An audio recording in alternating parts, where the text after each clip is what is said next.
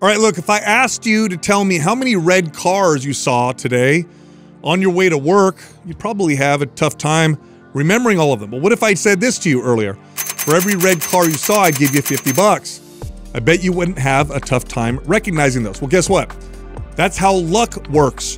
What you look at is what you see. If you look out for opportunities, if you look out for blessings, you'll notice more of them. Yes, that changes everything. It changes absolutely everything. So, if all you're looking for are all the reasons why you can't succeed, you're going to find them. If what you look for are the reasons why you can succeed and all the opportunities, guess what? You'll find those. What you look at is what you see. Wow. Have you guys ever heard that before? yeah, that was 12 red cars. I was wondering where you're going with that. I know.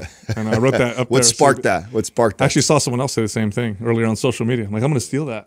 That's pretty good. Brilliant. and then not give him any credit. yeah, you I don't know where I said. No, it's it's Some a, guy. apparently it's a common thing to hear.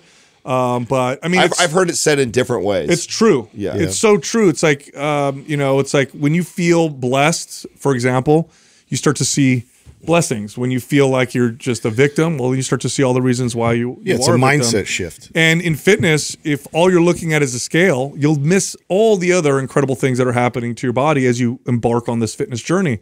Um, if all you see is the mirror, you're going to miss out on all these amazing things, right? So um, it's important to keep your your scope wide, to be present, and to to have that positive outlook. Like, all right, what are the positive things that are happening? Where, how am I moving in the right direction?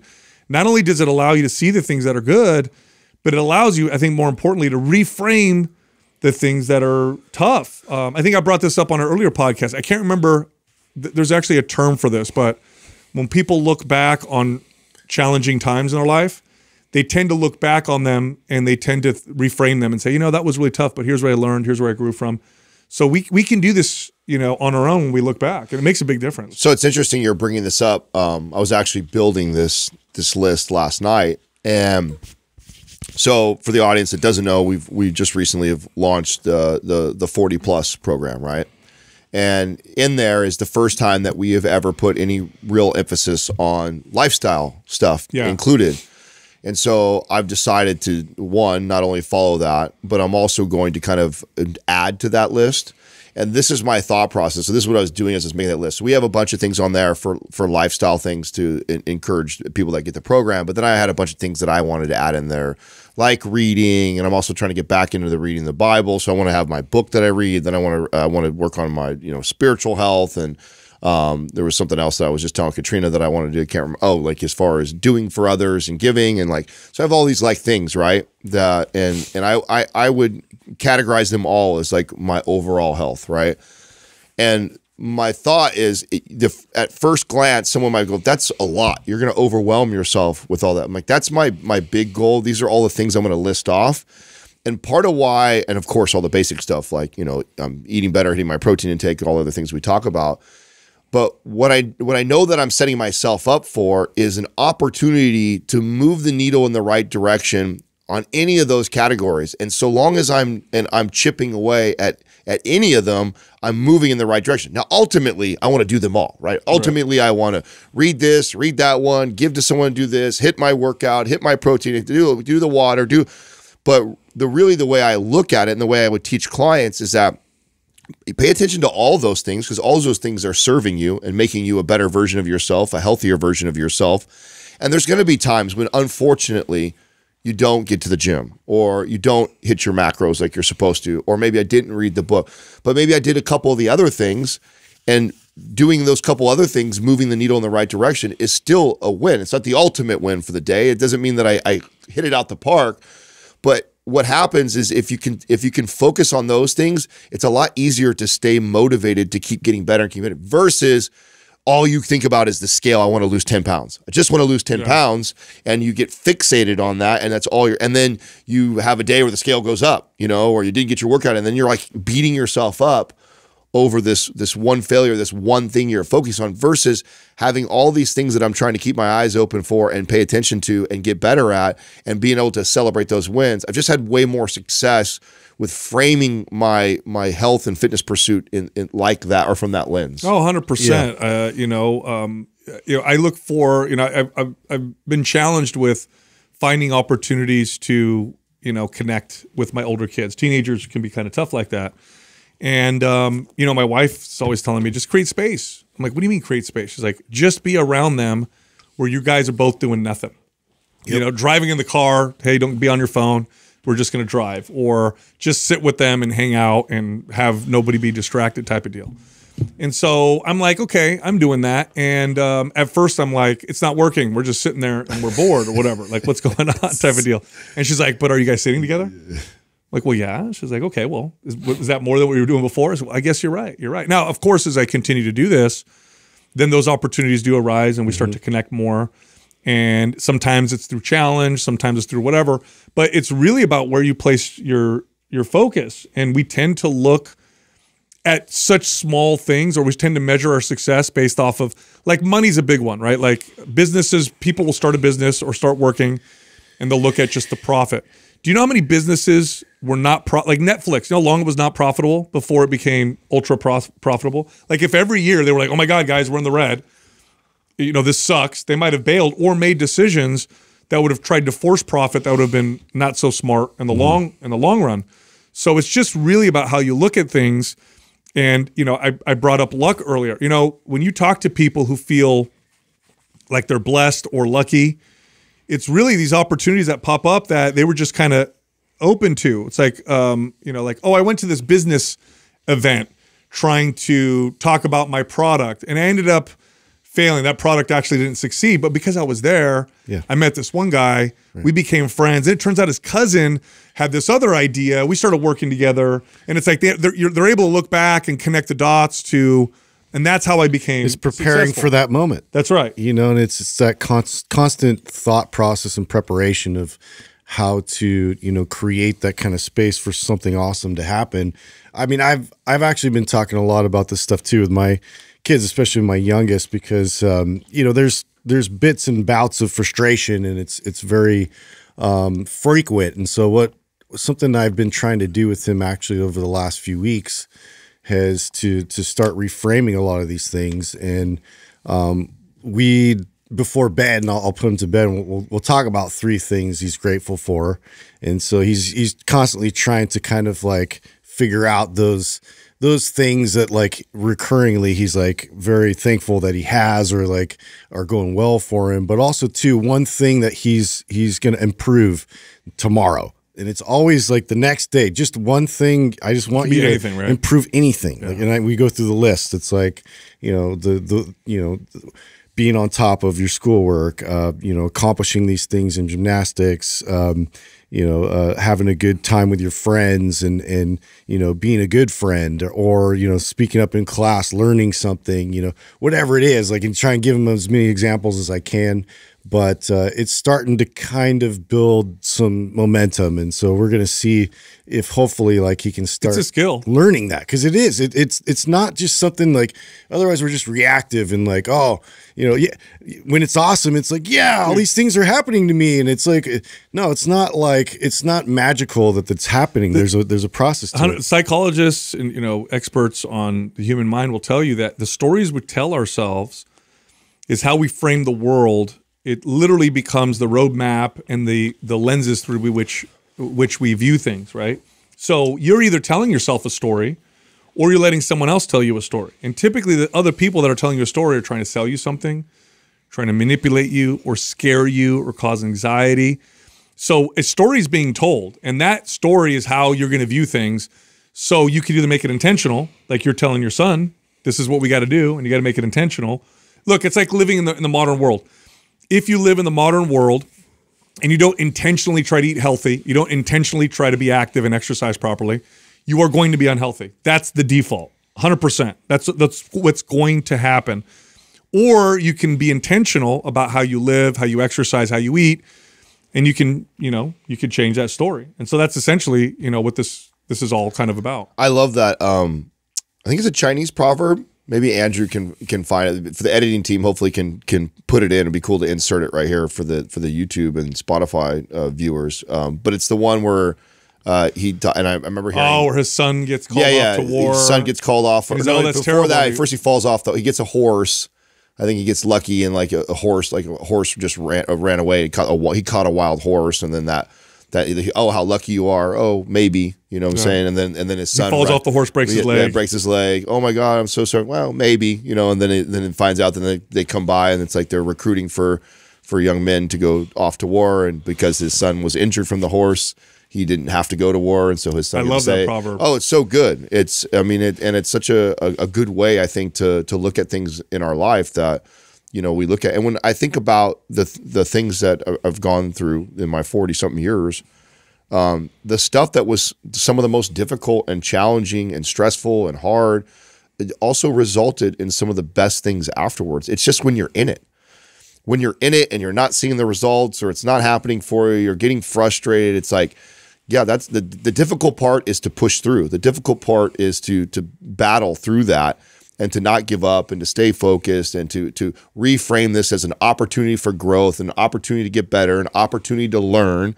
And then when you make it to that right on the other uh, uh, on the other side resides success right? So if i can get on the other side of fear then there's where the success is at. And so as you fear this oh, unknown of i don't know or i'm going to make it or i'm failing man the other side is so great. And what i found is the harder, the darker, the worse the thing is in my life, obviously the more challenging, but also the more rewarding when you get to this side.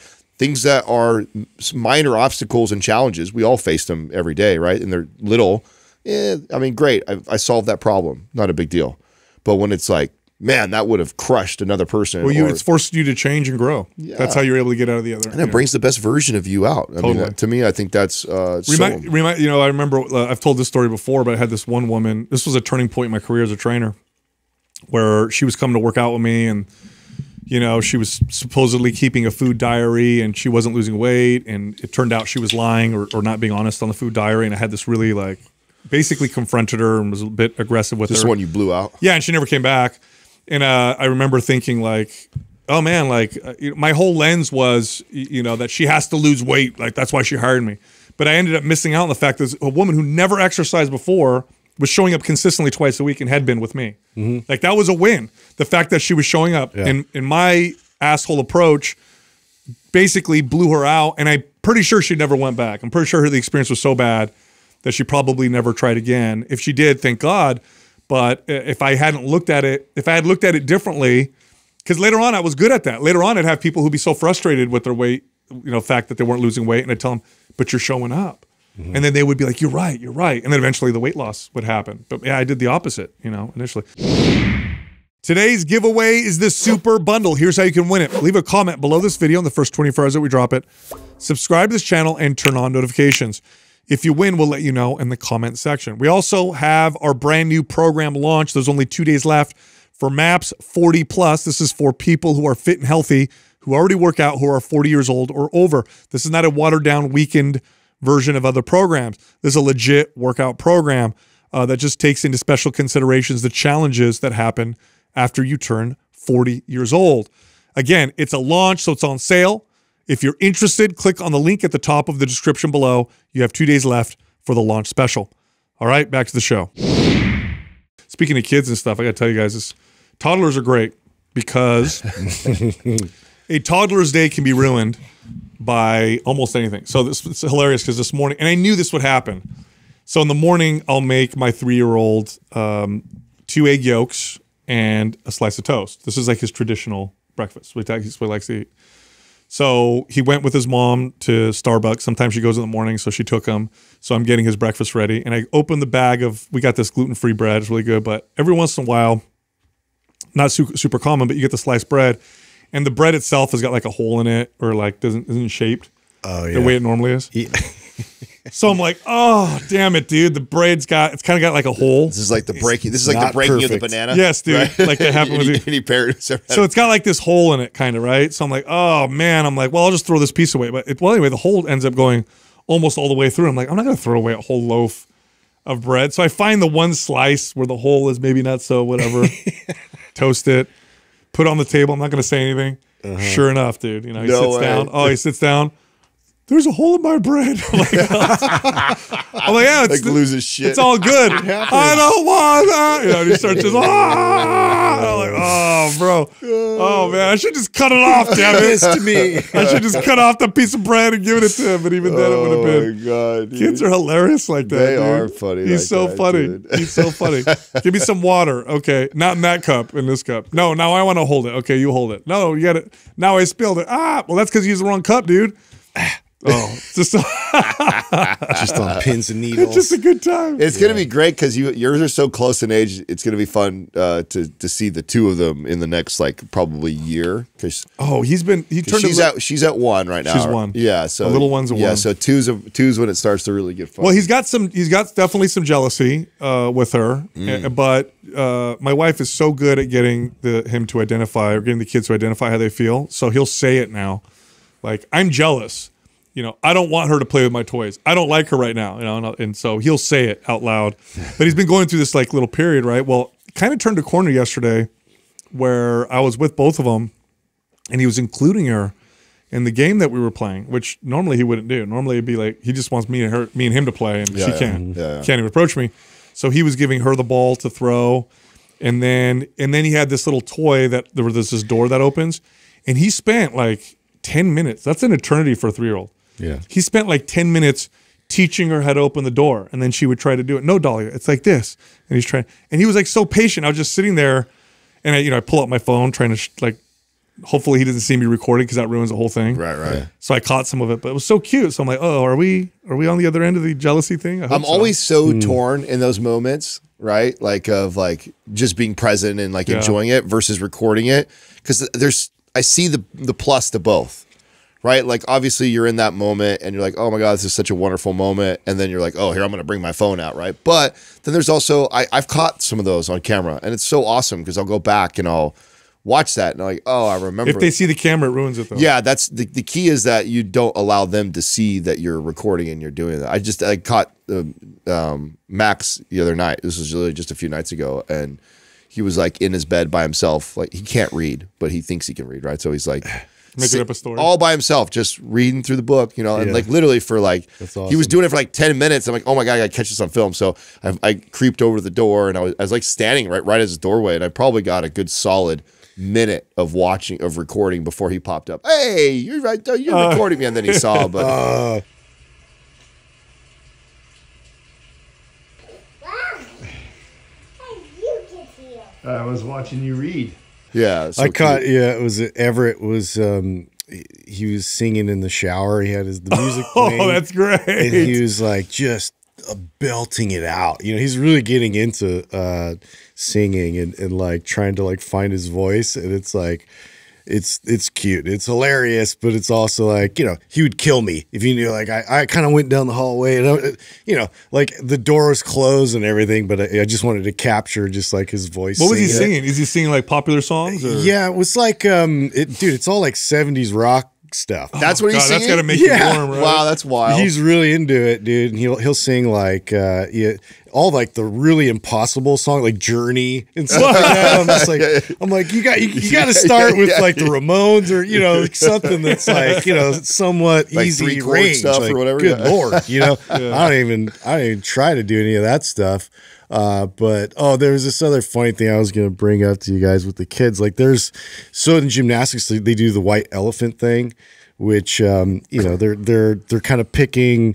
So white elephant, everybody brings a gift. Yeah. You pick one, and then someone can trade it with another one. Oh, okay. So How's it's not work? white elephant. So it's like it, it's like a draw of the hat thing, but Oh, it, but it's like a a, a certain. Secret Santa. Secret Santa. Oh, that's what it is. Okay, Okay. I was trying to figure out what the hell it is, but uh, they pick it and it's like twenty bucks or something. It's Yeah, like, yeah, I'm Secret like, Santa. what can you get for twenty bucks anymore? You can't even get 10 bucks for 20 bucks nothing. anymore. You can't get anything like pack of gum or something. But so this guy like No, it says cheeseburger costs twenty bucks. dude i have no idea. I was like trying to think of what i would even have asked for. And so i think some of the kids in there like the old so there's older kids and then the younger kids.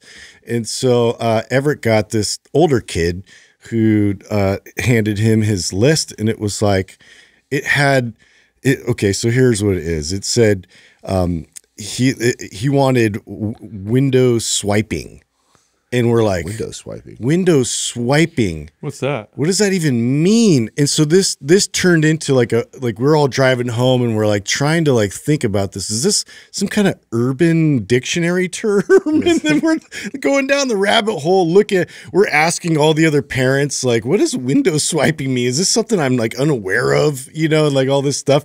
And I'm like this kid just must be trolling us like like crazy, you know, like what and, and so we start trying nobody could figure it out. And so what we're gonna end up doing, it's like I guess like it- you know, we're gonna get some kind of like a squeegee and then like You still don't know what it is? No, I have no idea. Oh my god, what a horrible story! You have no idea. Like this whole time, like you guys window swiping and no one got to the bottom of it. Nobody got to the bottom of it. Dude, this kid's Did like you Google it? Yes, Googled it, looked through it, Did you Urban like Dictionary, anything, how have you no idea. And Look then at window like, swiping present or something like that, or window swiping gift. What is Yeah, it? ask the Google master. yeah, Yeah. I'm go so ahead because I'm so mad at nobody. your the- story. I thought we are gonna find out what it was. I'm like, oh, wait, what no, is it? no. So, so my thing is like he's. I think it's a troll, dude. I think he's trying to like be funny guy, and so we're Get gonna, we're gonna be that with like a Dora the Explorer, you know, like like stupid oh, like what- card. Oh yeah, what's that guy? You swipe or no swiping. Swiper. I'm trying to think what else if he maybe spelt something wrong and you're just reading it wrong. No, Like, it's it's it's completely like who. Okay, here's a funny one then for you because of the Urban Dictionary thing. Do you guys know what uh, Quah stands for? in the Urban Dictionary. Did we make it? Yes. No. Oh, that'd This be awesome if we did. Apparently, is okay. So it's quad hairy dude butts What? Wait, wait, like, wait. together. A Quah is four. a Quah is four hairy asses together. Wow. Yeah, That's I thought that, wou- worked. that perfect. wouldn't work. That wouldn't work with us because Doug's uh, Yeah, Doug well, has zero hair on his Doug's butt. part of it. So, Super smooth. anyways, that was interesting. I'm, sa- I, I, I'm concerned you know that. Somebody else like We all- told me they're like that, I was I was searching what Quah was, and Did then you- it sent you- him what do you down that over there? rabbit What do you got hole. over there? So there's another Urban Dictionary one. It says a mass quantity of all things amazing concentrated in one person, place, or thing. For what? It's a Quah. Oh, well, that, that's that's That's better. I like that, makes one sense. better. That one I is like, better. I like that one the better. hairy ass sense. part, I'm not so Hairy excited about. quad asses. You know that um, Get four hairy guy asses. you got Disgusting. talking about the kids you guys got I forgot that so I remember I've been telling you guys how like we're now we're at the phase we're at now is that we he's not just repeating us he's repeating strangers and random people and just and inserting it and just like so the perfect timing I'm always so impressed when he says something like that and Katrina's reading to him the other other night and he goes mommy this is boring She's like, what? Where, where did you learn boring? Who told you boring? You don't even know what boring means like that. He's so he's picking up all these random words, and when he ins- and I'd say he's like maybe 50-50 on like when he inserts it. Sometimes it doesn't. It's just cute to hear them speak uh, like like, at try. a higher level, yeah, eloquently. Yeah, that's what it is. It's When so, you see a little kid do that, Aurelius is like, he comes up to me, he's like, "Do you understand what I'm trying to say?" Yeah. Papa?" I'm like, "What? What do you mean am By the way, you know he will not. No, I don't. He will not stop talking about Max and going to your house. I want to go Oh. to Adam and Katrina's house. I want to play with Max. I'm like, you didn't play with Max. Max just let you play with all his toys. That's why you like him so much. perfect. much. Because Max is just literally like- Max is like, here's my toys, and then he leaves, Yeah. and Aurelius is like, this is the greatest Yeah, kid in the world. like, we're best the best. friends. Ah! Letting him play. yeah. Let him play with all of his toys, and he's got all kinds of toys that are. Oh yeah, no, yeah, he's got all the he's Yeah. got too many toys, dude. I got to ask you guys something. I did not know this. Uh, this is apparently this is true. So, the average pig versus the average American, who has a higher body fat percentage? The It must be the average American. Yeah. Average American has a higher body fat percentage than the average pigs. pig. Yeah, what? yeah. The average American man is 28% body fat, whereas the average pig is about 16% body fat. Apparently, it used to be 20%, but now it's leaner because people like leaner meats. I didn't know that. Wow. Pigs don't look lean to me. No. Yeah, that No. actually that you less about the. I mean, obviously, it's still not good that we're that we're that fat, but it, that's actually not as. It's not as bad on the American side as, and it's not as lean as I would have thought on the pig side. I would have thought pigs were way more than eighteen or I, twenty. yeah, I got it's got to be context, right? The what would considered lean versus fat on an animal versus a human, you know, type of deal. Yeah, yeah. But that's wild. I'm offended. Which brings me to the next thing that just happened. You guys hear about uh, Southwest? no. Oh God, really? no. This makes me annoyed, seats but it, it, it doesn't make me annoyed for the reasons people would think. I'll tell you what makes me annoyed. What, what- what's annoying about it? So, Southwest Air- Air- Airlines has this policy that now is going viral, where if you're a passenger of size, this is what they call people now, a passenger of size, that they will give you a free seat or a free row to in, to accommodate for your size. Okay, so this is what Southwest is, is doing right now. Why? Here's, I don't know why. I, I think probably the virtue. I mean, sig- if have they, no as long as they don't discriminate, and a six foot three, two hundred and forty pound dude could get two seats too, I feel like Well, that's not fair. Yeah, you know why? You know why it's not fair though? Because people are thinking, well, what's the difference? Who cares? Southwest is giving them. Here's why: Southwest still has to make profits. So mm-hmm. how do you think they can afford giving away free seats They raised Raise the rate. by fares. by having people who are not passengers of size Exactly. pay more? Yep. They're going to subsidize the tickets of people who are not passengers of size. I'm going to keep using their stupid term for people who are to make up the difference. So what's the um? That nine percent for a pig is really low. That's low. Pigs are ripped. Yeah, they are. They're more muscular than I thought. They That's were. cool. That's awesome. So, how, how do you? Uh, I'm really curious about this the Southwest thing. How do you determine if somebody is a, a, a person of size? Is it Yeah, is it obesity or is it being a tall and, and, dude? like yeah, like and, and do I determine that like, or do they So determine that? subjective. yeah, because we don't. I don't like sitting on a side. I'm not a huge, but I'm six foot, two hundred. That's why I said that. and I I don't like- feel very comfortable in those chairs. I definitely don't. You don't, for sure. So what? wh- How do they? How do how do they decide? Yeah. Do you uh, do we know? That's. you know? I feel like they're opening themselves up for some lawsuits, don't you? Oh, I oh, feel like oh, yeah, some tall dude's gonna be like, "Give me some free seats." No. yeah. Yeah. Why not? Is it because I'm not? You're not? not. You're not fat. Yeah, because I'm not fat, or what's Which, the deal? by the way, I think is even worse because the the six foot eight guy or seven foot guy who's two hundred and seventy pounds. He didn't eat himself to that. That's right. He can't control that. He's forever gonna. Like, there's He's tall. nothing he can do He ain't going on a diet to get to short. not be six seven. Yeah. like that's crazy. If he gets discriminated against. So now, why doesn't this apply to like Not a lot of roller six foot seven coasters? So he- this is Oh, how they 'cause- determine. Oh, let's hear it. Uh, so it, it the armrests are the gauge. Oh. So if you're unable to lower both armrests and or encroach upon any portion of a seat next to you, you need a second seat. So seat. it's not height; it's width. It's how wide you are. I mean, I totally encroach on the the seat next to me on the. Uh, it's like that's one of the things I can't stand. Is like you if uh, I can't. Bro, can you? Can you? know, We don't fly Southwest because they're no, okay. But if you do, can you? We should do this. We should have you go in. Take a Be like, picture. hey, can I have some free seats next to me because uh, that I can't fit. Yeah, and do uh, do does the customer request it? It's going to be interesting how this unfolds. yeah. So it says basic. What Doug said about the encroaching is correct. Like if that's what qualifies you, so you can either buy one ticket and then talk to the customer service there at the departure gate, and they will accommodate you and they'll move people around, or you can purchase two tickets before and then get a refund after for one. Unbelievable. So it's not about because I thought for a second, well, if there's not a seat that's available, then they can't do it for you. But no, you could buy two, take up that seat, and then get it refunded afterwards. Hmm. Holy shit. Yeah, it used to be you had to buy two seats. That is, and what makes me annoyed about this is what what Southwest is not cutting into the profits to make this happen. Southwest is everybody. The profits are total, so people who don't do this are going to pay more to accommodate people who do. It's do so this. wild because I This is I- crazy. I don't even think so. If I if I qualified for this for being too tall, wide, and everything like that, and that would happen, which is a very good chance that I would. I st- I wouldn't even. I I still would not want that. Like I just don't think that's fair. Like it's like because I'm I'm a big guy. I got and, and again I can't control the my t- my width and height really. You know what I'm saying? Like it's like maybe if I got really really skinny, I can control my width a little bit, but not for the most Well, part. Well, is obesity a disability?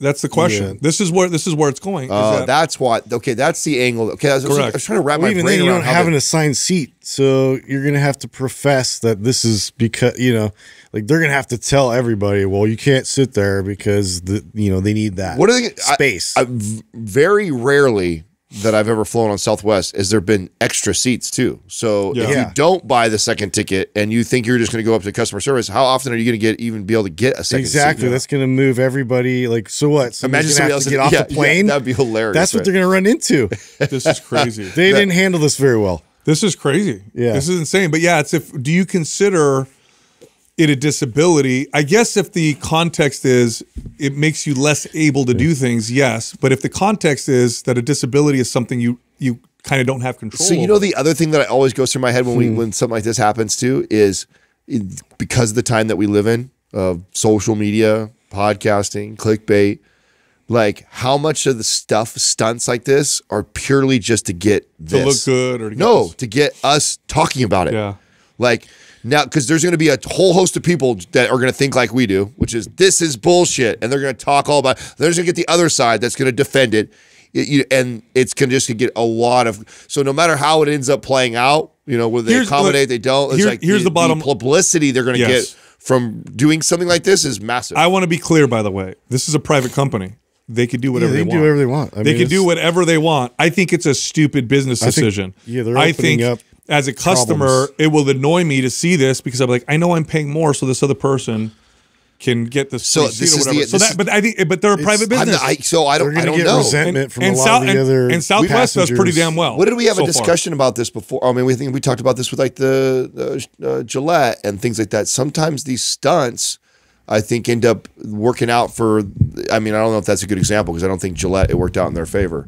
But sometimes when they do stuff like this, because they get all the publicity around it, I mean, like that, that old that old adage, right? That you know, Well, we either are bad heading- publicity is good publicity. we are heading to a point here where a majority of people, if we continue this trend, will be obese. So the minority will be the person who is complaining about this. The majority is going to be everyone else. Yeah. And then what? Right. Well, Now the trends are going. I that mean, I way. would I would argue that we're already there because uh, a majority of people are. I mean, a, a, almost a majority of people are already physically there, and then there's a bunch of people that just agree with that that aren't there. Right? There's there's people that are not obese that agree with the, that uh, obesity is a disease. Right? So there's definitely that.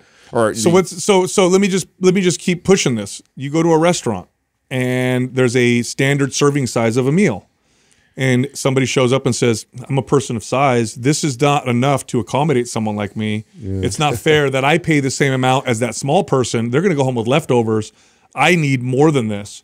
So you need to accommodate." It sounds crazy, but it's in the same Yeah, breath it's- of it's what we're talking about. It's not that crazy. I mean, this is what happens when you you open Pandora's box, right? You you do this and you go down the rabbit hole. you It's like- eliminate with personal responsibility. Again, it's a private company, so they'll we'll Yeah. see how well this sticks. I just imagine me being a teenager or something, and I'm I'm like putting on extra coats and you know like all this stuff to because like you know you're, you're so self centered and thinking like oh like I can get away with this. You know, there's always a, a like a way to kind of hack the system. It's like there's Okay. gonna be like people that take advantage of it It's too. yes, and you know what's funny? There's there's pro athletes that would qualify for this. There's some big, big people that pay, play professional sports. sure.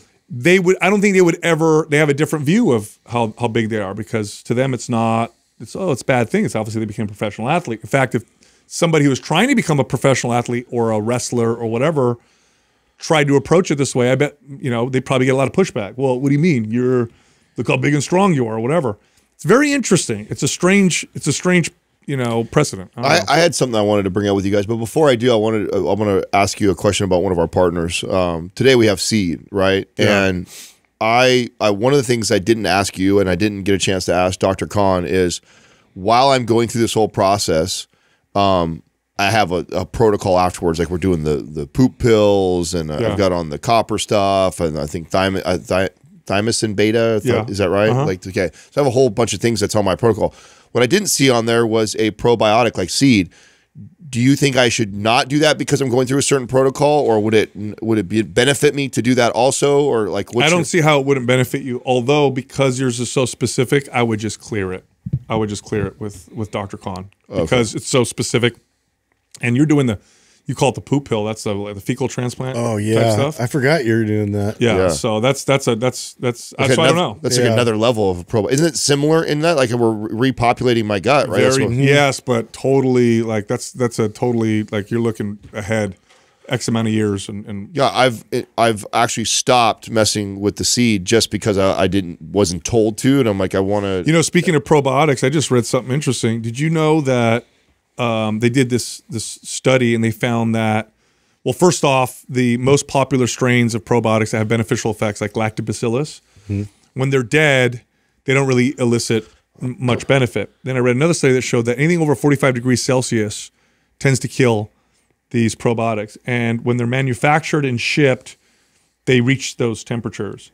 Seed is very different. Seed guarantees you what's in there. It says so if there's you know X amount of billion of this bacteria being alive, they are.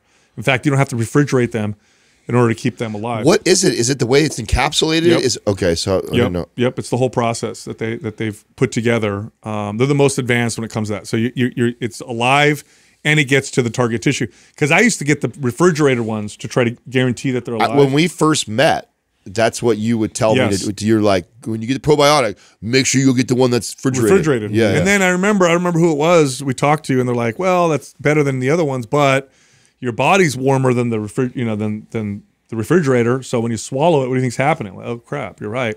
It's not being protected at all. It's getting destroyed in my gut. So seed is totally different in that sense. That's why when people take it, they're like, "Oh, this, this feels this feels totally different." I mean, that's probably one of the the biggest things that's different, right? Because a, a lot of the stuff that's in it is similar to other probiotics, but it's the fact that you're it's actually alive and how it gets there. Yeah. Hundred percent. So, like, let's say somebody else's probiotic, they're they're you know upregulating you know forty percent of it, or seed, you're getting the full. You're getting all of it. yeah, yeah, Hundred percent, So right? That makes sense. You know, we, earlier we were watching. I was showing the editing team that Rocky Four uh, montage. Josh had never seen it. So great. He's I a fighter believe- and he's never seen it. I How's that possible? I feel like he's so motivated now because he watched it. Anyway, so you guys, did you guys know Dolph Lundgren? So Dolph Lundgren, I saw this. I watched this interview with Sylvester Stallone, recent one. So Sylvester Stallone is what he's in his seventies.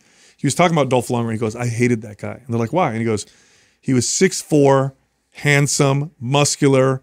Martial arts expert, master's degree in chemical engineering. I did not know this. Oh, I didn't know that. Got a scholarship to MIT. Did not know that. Wow, he was brilliant. He's a brilliant everything. Oh, He's wow. one of those rare people that's like you got like the Where's he at? Where's he at today? gifts. No of idea. All yeah. I mean, he he made he he came back in those because he uh, does look like a god. Like six, like if you looked at him in the '80s, he was like tall, jacked. You know what was martial favorite? artist, like Yeah, like smart. chisel- What was the soldier features. one that he did? I love that one. Oh, oh, is that with Van Damme? Yes. what was- Oh, that was a that was like Street Fighter, wasn't no, it? no, no, No, no, something no. soldier. It was uh, where they were like perfect. They Yeah, were like yeah, they were- genetically engineered soldiers or something like that. yeah, find that one. That was a, that was a classic, dude. God, I I, haven't watched that in a long dude. time. I love that one. I watched that over and over. Universal. Soldier. Yes. Yes. Yeah. What did you say? Universal Soldier. I think that's right. Yeah. That was it. Yeah, Maybe if someone could pull up the uh, the the photo of it or whatever. I forgot about that movie. Yeah, that's. I mean, that's worth a watch. It's been a long time. It's probably terrible, right? Watching it, like, oh, this is so Well, when you're a bad. kid. But I loved it. I remember watching it over and over. Oh, bro, I, I told you guys I've been watching the Godzilla films with my kid. Yeah, they're so cheesy. They're It's the so crazy. best. It's so bad how cheesy they are. Like, I- there's literally a costume. There's one guy. They're all people in costumes. There's this one monster Godzilla fights that's on on all fours. They didn't even try to make it look like it wasn't a dude. The back legs is literally a dude's legs being bent. so he's crawling around. So, Yeah, so bad. Oh. It's so bad. dude, Sylvester Stallone. Like you brought him up. Like I, you you remember that whole rumor about like Richard Gere uh, having a gerbil? Oh, like being God. into gerbiling. I don't know know that? You never heard that? No, no. He That's like, a that's a herb. That's before the internet. So too. Richard Gere like blames uh, uh, Sylvester Stallone For as, like, passing the that around? One passing around that. Oh, oh, there's yeah. Universal Soldier. yes. Yeah. Because 2012. my wife is still convinced that that was real. Like that Richard Gere was into that kind of stuff. I have no idea what you guys are talking about. you don't know about the gerbil? No. Gerbiling? He had a verbal. Come okay, on. he put a ge- A verbal sorry, Doug. gerbil? He put a gerbil gerbil Up his butt? up his butt. his butt. And and then the gerbil died, and he had to get had to go to the hospital. They had to pull it out. What out. a weird thing. It to- was on like, and it, dude, it was on mainstream news. It was not like, I feel like yes, I, I No, feel like wasn't. yes, I feel like that was like trolling before trolling was. Yeah. thing. so do I. I feel like it's an urban legend. yeah, Yeah. it was, and then it, it caught steam, and then everybody just like, So it was in the news that it was an urban legend or that it happened. Uh, no, that it happened. Then they all were like, you know, had to like, I- that's like- I feel like that's like- Reconcile look at Richard Gere and gerbil. yeah, I've been trying to Real like pin this out because does it face is an urban mouth. legend, but like, Don't click on images, please. I feel like that's like a disgruntled like client friend or so somebody that's mad at you puts out a rumor like that. I feel that's like if you're a, a super yes, well, that's why I, that, it was interesting. I'm like, why did he he pin that on Sylvester Stallone as the one that, that started the rumor? You know what's funny? You could only do that. Oh, about, he- he said about he celebrities. started it. He said Richard Gere said he he started that. He blamed uh, Sylvester Interesting. Stallone. For that. Wow. Yeah. That's okay. I was so like, what? I feel like you could only do that about celebrities because if you made that up about someone else, people are like shut up. But if you say it's about some celebrity that's like way at the top, But that's like stuck. I you know, saw forever. I saw an. Instagram reel. Maybe Doug can confirm this is a hold little on, bit. Hold on, I want first. I want Okay, hear go if this Well, so it's probably ur- urban legend. There's nothing to verify it. What do you say? What does it say? Of course. I mean, yeah, Stallone is uh, implicated in starting this somehow. Hey, what a what But I a don't know if it's true or not. What a great like prank. You know what I mean? like Make it- up a bullshit. it's so specific, you know, and it's like so taboo and bizarre that like it, it went like gangbusters. Everybody's like, "Oh, did you hear about Richard Gere?" You know, Oh. and So- it became a thing. So t- t- talk about pranks, okay, and things like screwing people or getting people over like this. I thought this was a really interesting reel I saw. Doug, what's it um, when we ha- when we do like um, when we do like small transaction business stuff where like we hire a contractor or something like that? What is the thing that we? What's the what, ten? Is it a ten ninety that we send? 1099? Ten ninety nine is what we send them to. Yeah. to- Yeah. Which so I thought this was really cool. And I, maybe you know if this works or not uh, if you've ever had somebody who's kind of fucked you over and not paid you back or not giving you money or like that or screwed like that, is issue them a 1099. And he says what that does is it triggers the IRS that they did work for you uh, and, and whatever that, and that, and then just let it go. Just issue them a 1099, let it go, and that it'll trigger the IRS to see where they should be getting taxes from that person. And if they don't get taxes attached to that person, then they'll then they'll do an audit. a Ooh, lot of that's times. nasty. Yeah, first off, that's really dirty. Yeah. Okay. Well, so I'm talking about don't do that. you over. Yeah. Well, even so. But here's the other thing, though. Maybe it will go back to you It will. because if you haven't reported that on your return, obviously it would be an expense, so that wouldn't be such a big thing. But I mean, I, I, it could be traced back. I would even not use the IRS. I would not use the IRS in a prank. Like, why would you want to mess? I with mean, that? yeah, I mean, Well, I think that's pretty they could cruel thing to do. on you. Honestly, Totally. I mean, Oh, but I- obviously, if you're enemy, I guess. you Yeah, would do that's that. a, I that's like the, the, parking ticket one the best. All right, that's so my favorite one. Adam- leaving the car in there. you rent a car in your friend's name or something like what was it? Like you, you Yeah, yeah, no, you buy a car. You buy a car into someone's name. So you buy like a beater, like you buy Like, like, that's right, a piece of shit Yeah, piece of shit that doesn't even run or then you or go barely- park it somewhere, Yeah, park at the airport and you leave it at the airport. they get billed. Yeah, yeah, they just get you get bill ran up on them like crazy. Did you ever did you ever see that guy? I think I talked about a long time ago. That guy who he made his last uh, alimony payment to his wife, and he showed up and made it in pennies.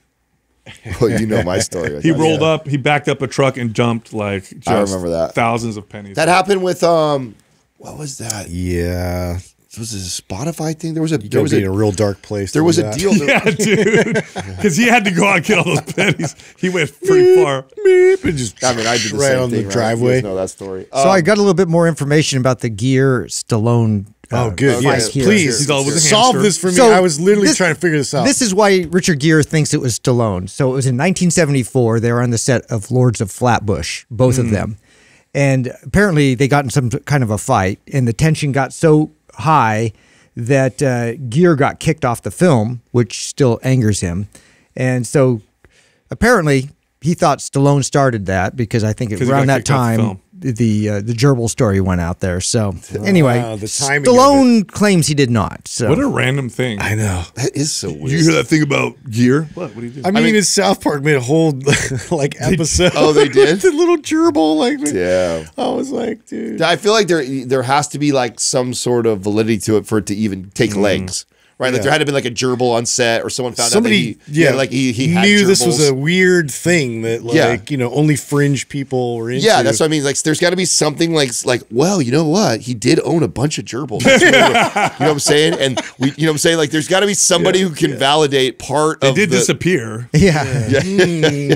It's, it's, it's, it's, he's buying one a month. Yeah, like how does that stick? That's so bizarre. I, I had it, kind of an off uh, topic type of conversation I wanted to have with you guys. Um, not even sure if this is the, the, the right time to insert this, but I, it was on my mind. I wanted to bring it up. And Okay. Right after gerbils, yeah. Yeah, I don't think that's a great transition. I apologize. He's like, guys, I'm gonna insert something. Yeah, yeah, yeah. Sorry, sorry. so I'm I'm listening to um, our buddy Chris Williamson uh, interview uh, Scott Galloway, and they're talking about the um, Caleb Williams, who is the quarterback of uh, USC. So I think it was a, a month ago or so, roughly. Caleb Williams is the quarterback for USC. I don't follow college sports at all, or very little, but I know a little bit about this story and him. And he had all these super high expectations to be the Heisman winner, and like USC was supposed to go to one of the bowl games, and like he's super talented, obviously awesome if he has all those expectations. And they had a loss, and I think it was like their second or third loss uh, of the season, which probably knocks him out of the running for a Heisman and maybe even a, a bowl game. So it was like a big deal. And right after the loss of the game, like he breaks down. He runs like straight after the after the whistle, runs straight into the audience, jumps up, grabs his mom, and you can see him just sobbing. His mom covers like with a binder over his helmet so people can't see, but you can just see the way he's he's crying so hard. Scott Galloway brings it up and he talks about how much he thinks that moves he moved society in the right direction with masculinity that you know you hear you have this guy that all that all these kids look up to because he's a badass in football and stuff like that. And a moment on television they they see this and he breaks down and he cries. So it's caused a big divide of people that are um, you know, oh, he's soft, and then you have the other people that are like, man, that's that shows you how much he cared, and he's vulnerable, and things like that. And so Scott Galloway's talking about the vulnerability side and how important that was, and it sparked this thought for me, like, you know, that's interesting because um, I don't disagree that vulnerability is is is very important. I think men. Um, have a tough time sharing their feelings, stuff like that. I, I think that it, it should be okay for a man to be able to cry, all those things. But then I also think that you know we also lack a lot of stoicism in Yes. our our society, and that men are getting weaker, and we talk all about that. And I wanted to ask you guys: Do you think uh, men we lack vulnerability or stoicism more? And which one is uh, the the lack These days, of? stoicism, Huh? stoicism all day. I, I always see is uh well, I mean, I, I- I'm I might be alone on a lonely island here these days, uh, but I I mean, the whole push and drive for everybody to share their feelings and uh, show themselves crying and show themselves like at this moment of of despair. Um, what you know, for me, like it, in in terms of like how I I think it's important. It's important to share like that amongst your spouse, amongst your kids, but like the whole world and the public display. And like, uh, to me, I just think it's over overdone these days. So I, I I prefer I prefer to see you know a lot of that under control. In you know, and especially in that kind of a setting where it's like you're playing a game and there's high stakes and you know, and this happened when I played, and there was guys that like cried after we lost a humongous game, and it was like emotional, and it's it's a very emotional moment, you know. Uh, but to just have a, a you know total breakdown, um, I, I think it's like, I think let that happen, but like, why are we per, like, why are we zooming in so much on that? Like, let him have his his thing with his mom. Like, it- this isn't a public discussion. Uh, to me, like Well, that's it was already being filmed, so that's tough. I, I hear what you're saying. It's like someone's crying, like a film is yeah, like I just uh, we're we're just like I- oh I let's- knew let's- I knew this would be an this up. interesting conversation because I don't think they're independent. I don't think that they're it's either or. Okay, so what what is vulnerability? Real vulnerability is is courage. It is not weakness. But there's actual there's weakness, which is fear based, which is not real vulnerability. So like real vulnerability would be like, uh, you know, me and you are gonna get in a fight, okay? And you got all this armor on, and I take my armor off, and I say, "Let's go." You gonna look at me and think I'm weak? No, I made myself more vulnerable. That means I'm stronger uh, not I, I learned this more recently not allowing yourself to feel things isn't strength that's fear it's running away. Oh i can't feel that. Let me just avoid that. Let me so i don't think they're both the same. I think weakness is you can weakness is is can is not vulnerability and nor is it stoicism. Weakness is like crying and complaining and whining and you know uh, poor me and everybody look at me and look at my attention. It's just kind of like that's very different. Look if some if you see somebody you see an athlete break his leg and he cries because of the pain or he cries because now he can't play professional football. Which one feels strong? Yeah. Right? Not because of the pain. It's because oh i can't play it's pro because you football. can't yeah. That's totally different. It's understandable. Totally different. So i don't think they're either one. I don't think it's either one. Yeah, I think by the way right. what we see now it, it's more of a, if he was projecting it like it was a display Yeah. you know like I think that was Yes. what I was trying to convey So no, well, I know. So let me let me back up a little bit, or back up, back you up, Justin, a little bit worth where you're going, because I don't think you're you're wrong either. I think that so in this isolated incident, it's to me, it's less about him and what he Yeah. what he did. It's It more about up the conversation. Yeah. What so what I really think Yeah. it's more about, and what it what it highlighted for me is actually how wrong as a society we're getting it on the left and the right. yeah I feel like uh like there there's like this has turned out like everything today has turned into like a political thing. Like you have the and and Scott Galloway by the way is like a, a ardent left you know, left leaning type of uh, you know character. Like, and he openly talks about his his politics and where he is. I would say that Chris is more of a right leaning, so he's more of the stoic. And so you have like I, I love that they, they had this conversation, and I just think that the the right uh, what demonizes that the crying of that and it's weak and it's soft and then and then the left Do the toxic side. cel- of each- celebrates that it's Yeah. like vulnerable and stoicism is toxic masculinity and it's like that I think we're both failing society by making it so black or white. To now to your point where I agree it's the, it's a little more gray than that. Like I don't No, real don't- real courage is facing the the the fear and the the anxiety and the sadness, and then not letting it rule you. Yeah. Okay, that's strength. Fear is either it rules you, ah, and now I'm like frozen and I can't do anything, or it's avoiding it and mm-hmm. shutting off, which mm-hmm. is, you know, what you would say the toxic side of stoicism. What, what would be? I don't think there is a toxic side, but because that's not real stoicism, but the toxic displays that we see. It's like this. It's like uh, you got two guys in a bar. They both get in an argument. Okay, one guy waits outside for the other guy to come out, and when the guy's not looking, sucker punches him. Mm-hmm. That's weak. You are weak. Yeah. you hit the guy, but you're weak. You're actually a weak you- person. you have no a honor. A real, str- yes, a real strong guy would say, "Hey, look, let's go outside, one on one. If someone hits the ground, the other person stops. Yeah. That's that's strength, right? That's different. So I think what we're seeing, it's like masculinity, like they say, all, all you know, toxic masculinity. No, it's it's it's a lack of masculinity. It's all these young men without fathers who think they have to emulate what social media and what media shows them that men are, which is what bang a bunch of chicks, you know, make a bunch of money, uh, you know, braggadocious, you know, whatever. That's not real. Like that's not real masculine. If you had a father, he would tell you stop showboating.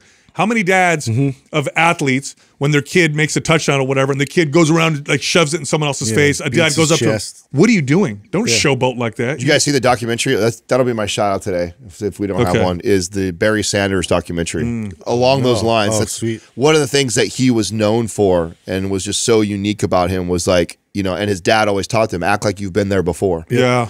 And so he would not celebrate. Like he would like he was sees if you watch all the clips, you watch documentaries, a great documentary. Every time he and he would just break off this crazy run that you just see nobody else do before. And then he runs the touchdown and he just walks over and he hands the the ref the ball, then goes right back to the huddle. No uh, celebrating, pumping arms, dancing, doing photo fake photos for the camp. Like just that's how he that's how he played. That's the I. I learned that in judo as a so kid. that's very stoic. When I learned that, so I went to an old judo school here in San Jose when I was a kid. San Jose Buddhist Judo Club, shout out. They've been around forever. And I remember if you won a match and you cheered and jumped up and down or whatever, disqualified.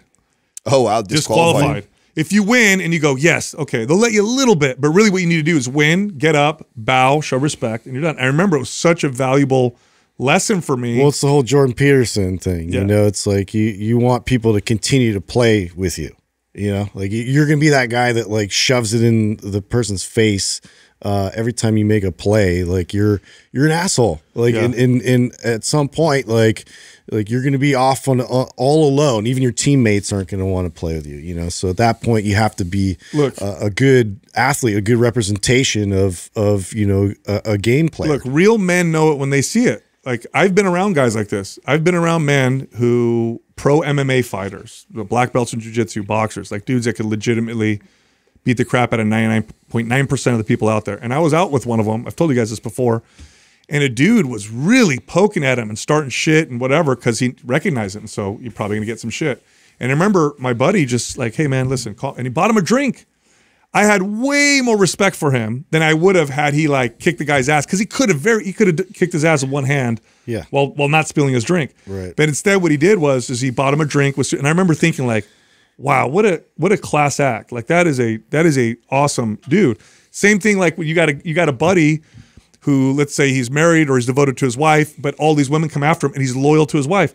Any man will tell you that they'll respect that guy over the guy that ends up sleeping around with everybody. Which, but see, media You've highlights control of your impulses. That's so it. you're not an animal. That's it. I mean, I think that's really, if you want to sum it up to one thing, it's like, you know, being able to have that kind of like reserve and, and control, like, uh, you know, over like just reacting my emotionally.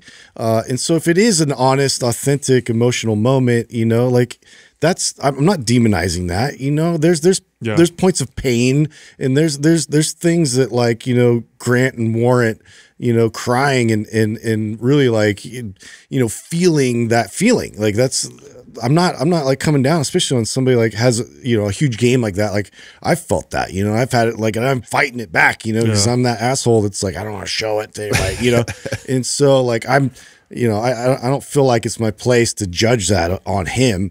But at the same time, what I do judge is like these videos. Like I don't know if you've seen the one with the Starbucks employee that's just like, you know, there's there was only four of us today, and he like locked himself in the storage room by himself, put him on self on camera to And the puts world, there. puts it out there, and starts crying and oh, hysterically about how hard his job is and like how the world's oh, against on, him and how everybody like how they set him up for failure and it's like what are you doing Yeah, yeah. what what is this That's a weak narcissist, is what it is. Let me post this on social Well, media. and I think the the thing that situation, the Caleb Williams situation, uh, the thing that I think is is is the worst is that I think the rest of us are getting it so wrong. Forget about that yeah, exact yeah, you're right.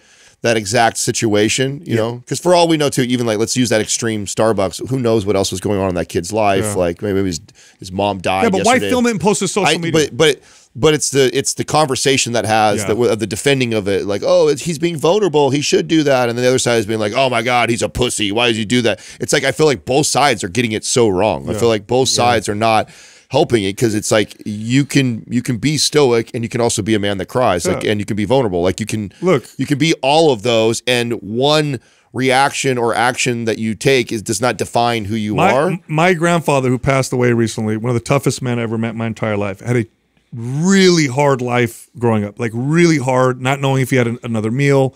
You know, ten years old, had to go off, leave town, go God knows where to try to bring food home, and like a really really tough life. Okay, you know, immigrated to this country, you know, other places. There isn't a single event of his grandchildren that he went to where he didn't cry. We it would it was a joke. I ta- I talked about it with my cousins at his funeral. Like you could always see no no in the back, and it didn't matter what recital it was. Could be first grade, could be second grade, could be high school. It could be this big thing, could be a little thing, it could be a kid. One of them, one of his grandkids drew him a picture, and you'd always see my grandfather sit there, and he'd always lift his glasses and wipe his tears, and he would. Did I? Was he weak? No, he was the last last league. Last person I would ever, you know, call weak. So Yeah, yeah. anyway, I was going to ask you about so all your treatments, all that stuff. Are you also using the Caldera still on your psoriasis? Are So- you still doing all the? now that so and they, they told me it would get to this this phase um so the initial treatment i was blown away by already what i was starting to see happen with the psoriasis. She actually even told me when she says like you know don't get overly excited because you you're you still go through like a scabbing and healing process. I am i'm stabbing you 50 times in each one of these spots. So you're gonna you're gonna scab over and heal so I am I, I'm at this point this peak right now where uh, it is starting to scab over, and so I'm back to I wasn't using anything I wasn't using anything literally just to the treatment, and I've been sitting back watching what's going on and paying attention to like how I feel and what, what I see. And in the last two days, I've started to notice it like starting to scab over, and so that really helps keep it from getting like really dry and scabby. You know the, the the market for men's skincare um, exploded. it's because of Caldera. Cal- I- are you watching the ads on with Caldera ads? They're I, I don't I don't know how they did it. Well, it's got to be the product, the way the bottle looks. I'm not sure. Maybe the right timing combination of the, but like like comments underneath it for men about using the skin oil. Uh, it's insane. It's it's crazy. That's a market that you know how many times.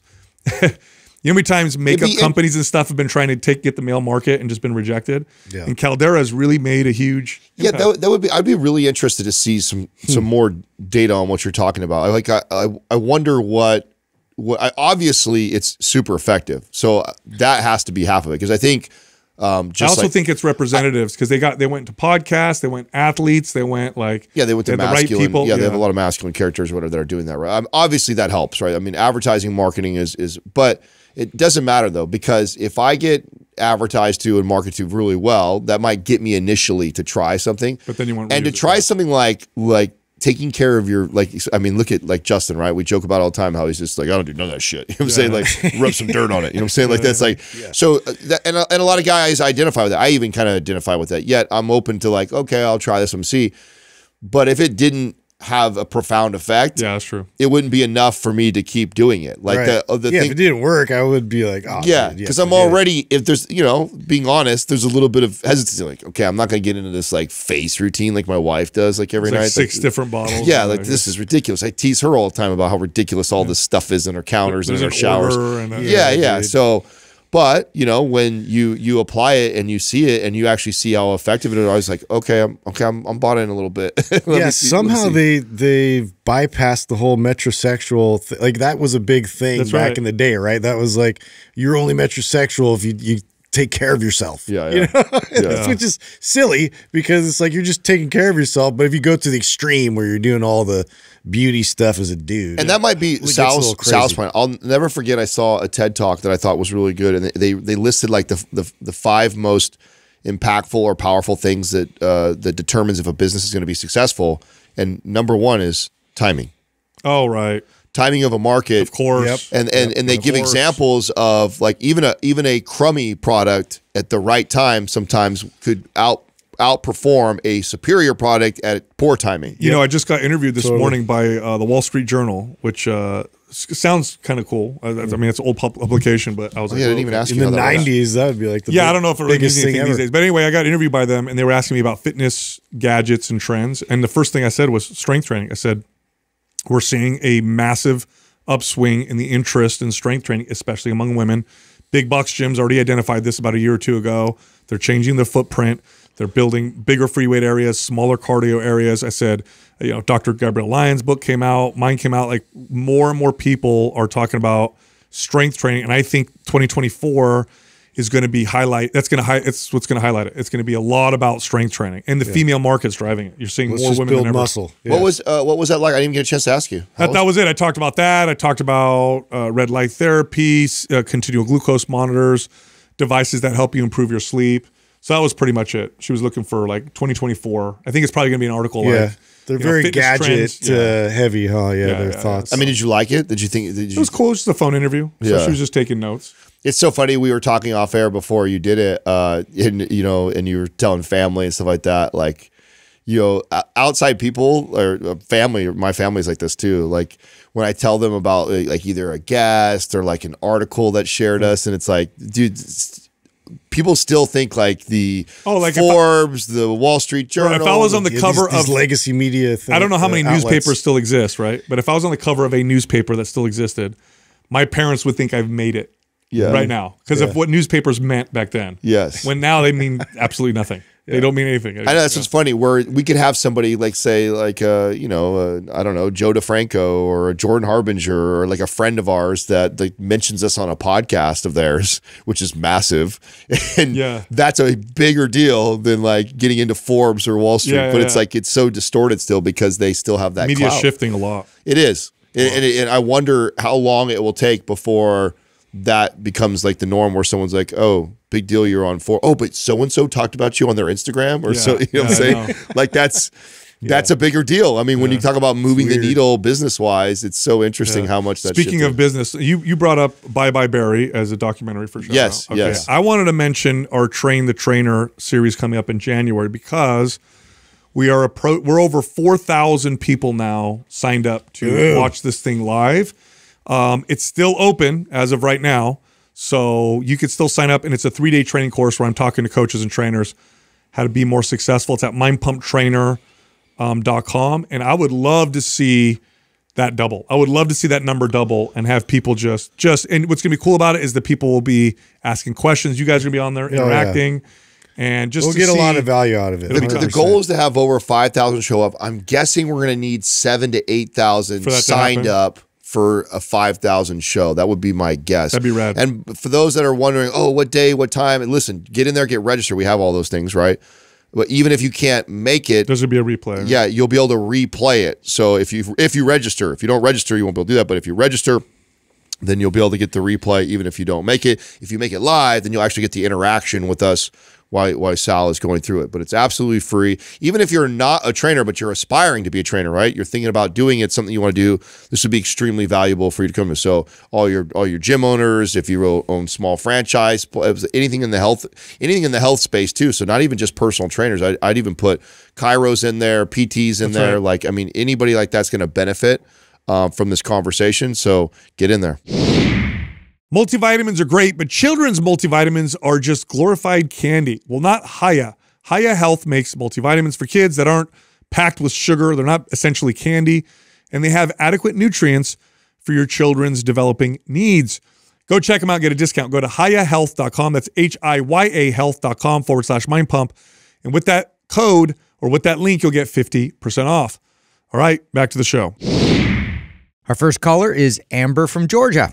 Hi, Amber. How can we help you? Hi. It's nice to meet you guys. I've been listening for a couple years. I'm very excited and very nervous.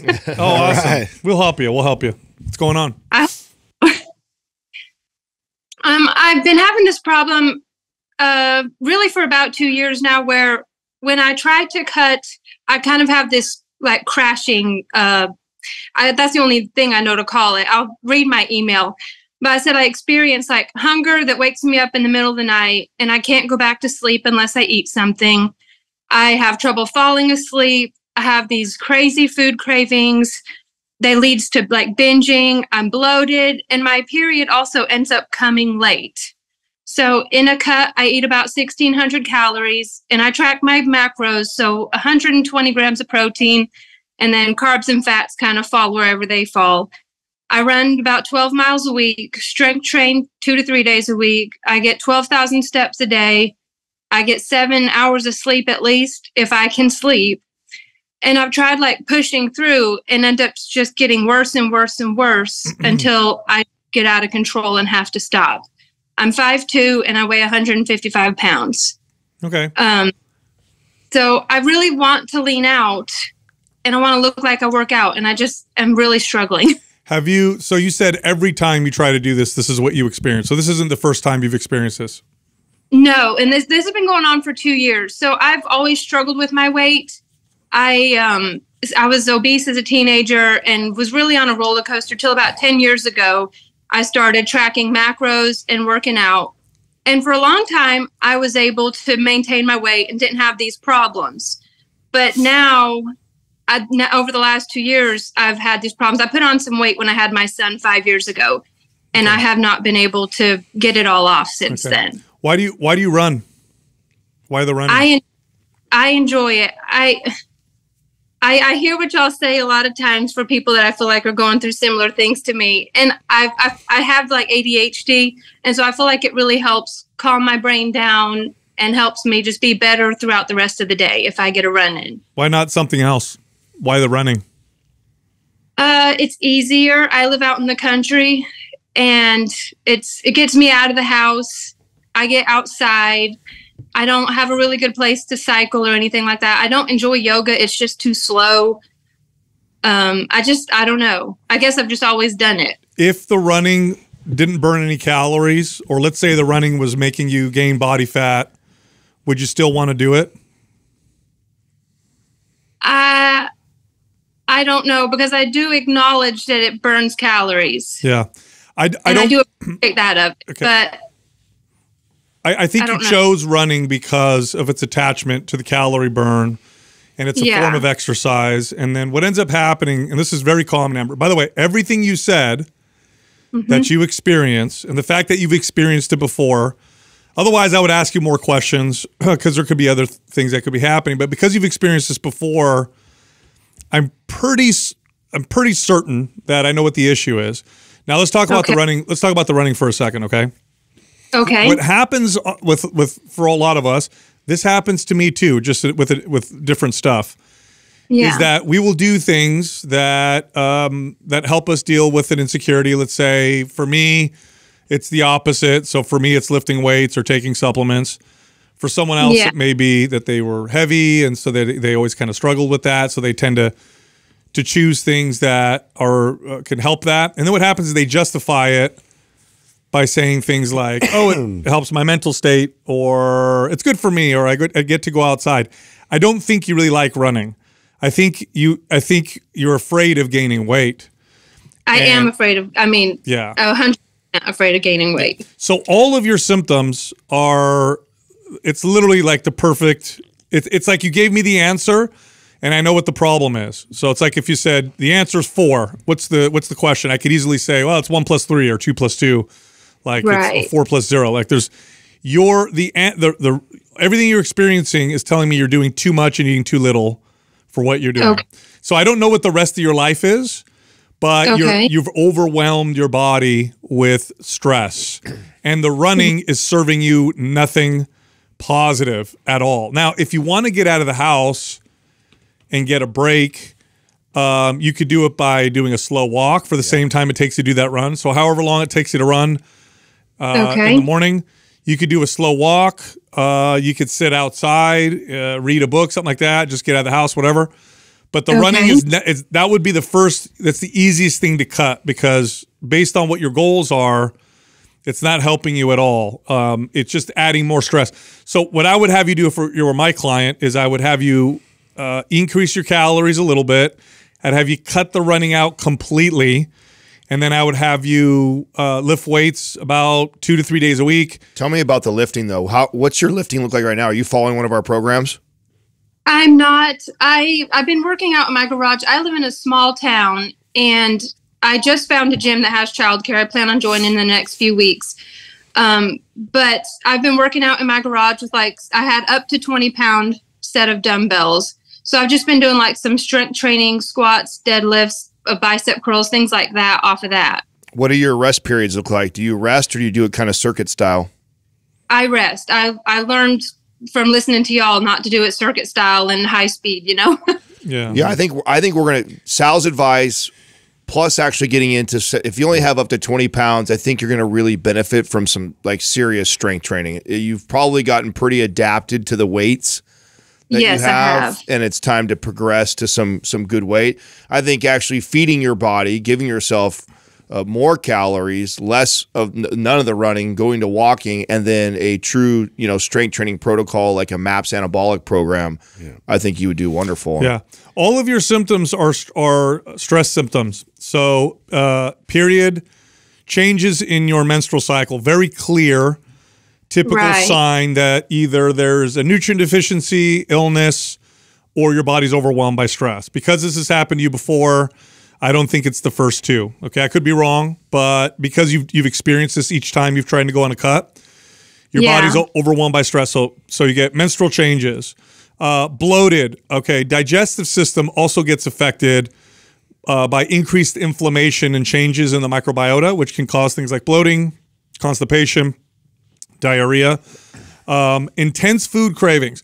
When your body, you know, keep in mind our bodies evolved for the most part uh, with scarcity, and one of the there's two main causes of of stress that we would uh, encounter for most of human history. One of them is danger. I'm going to get eaten or killed, okay, or something like that. And the second one is not having enough food.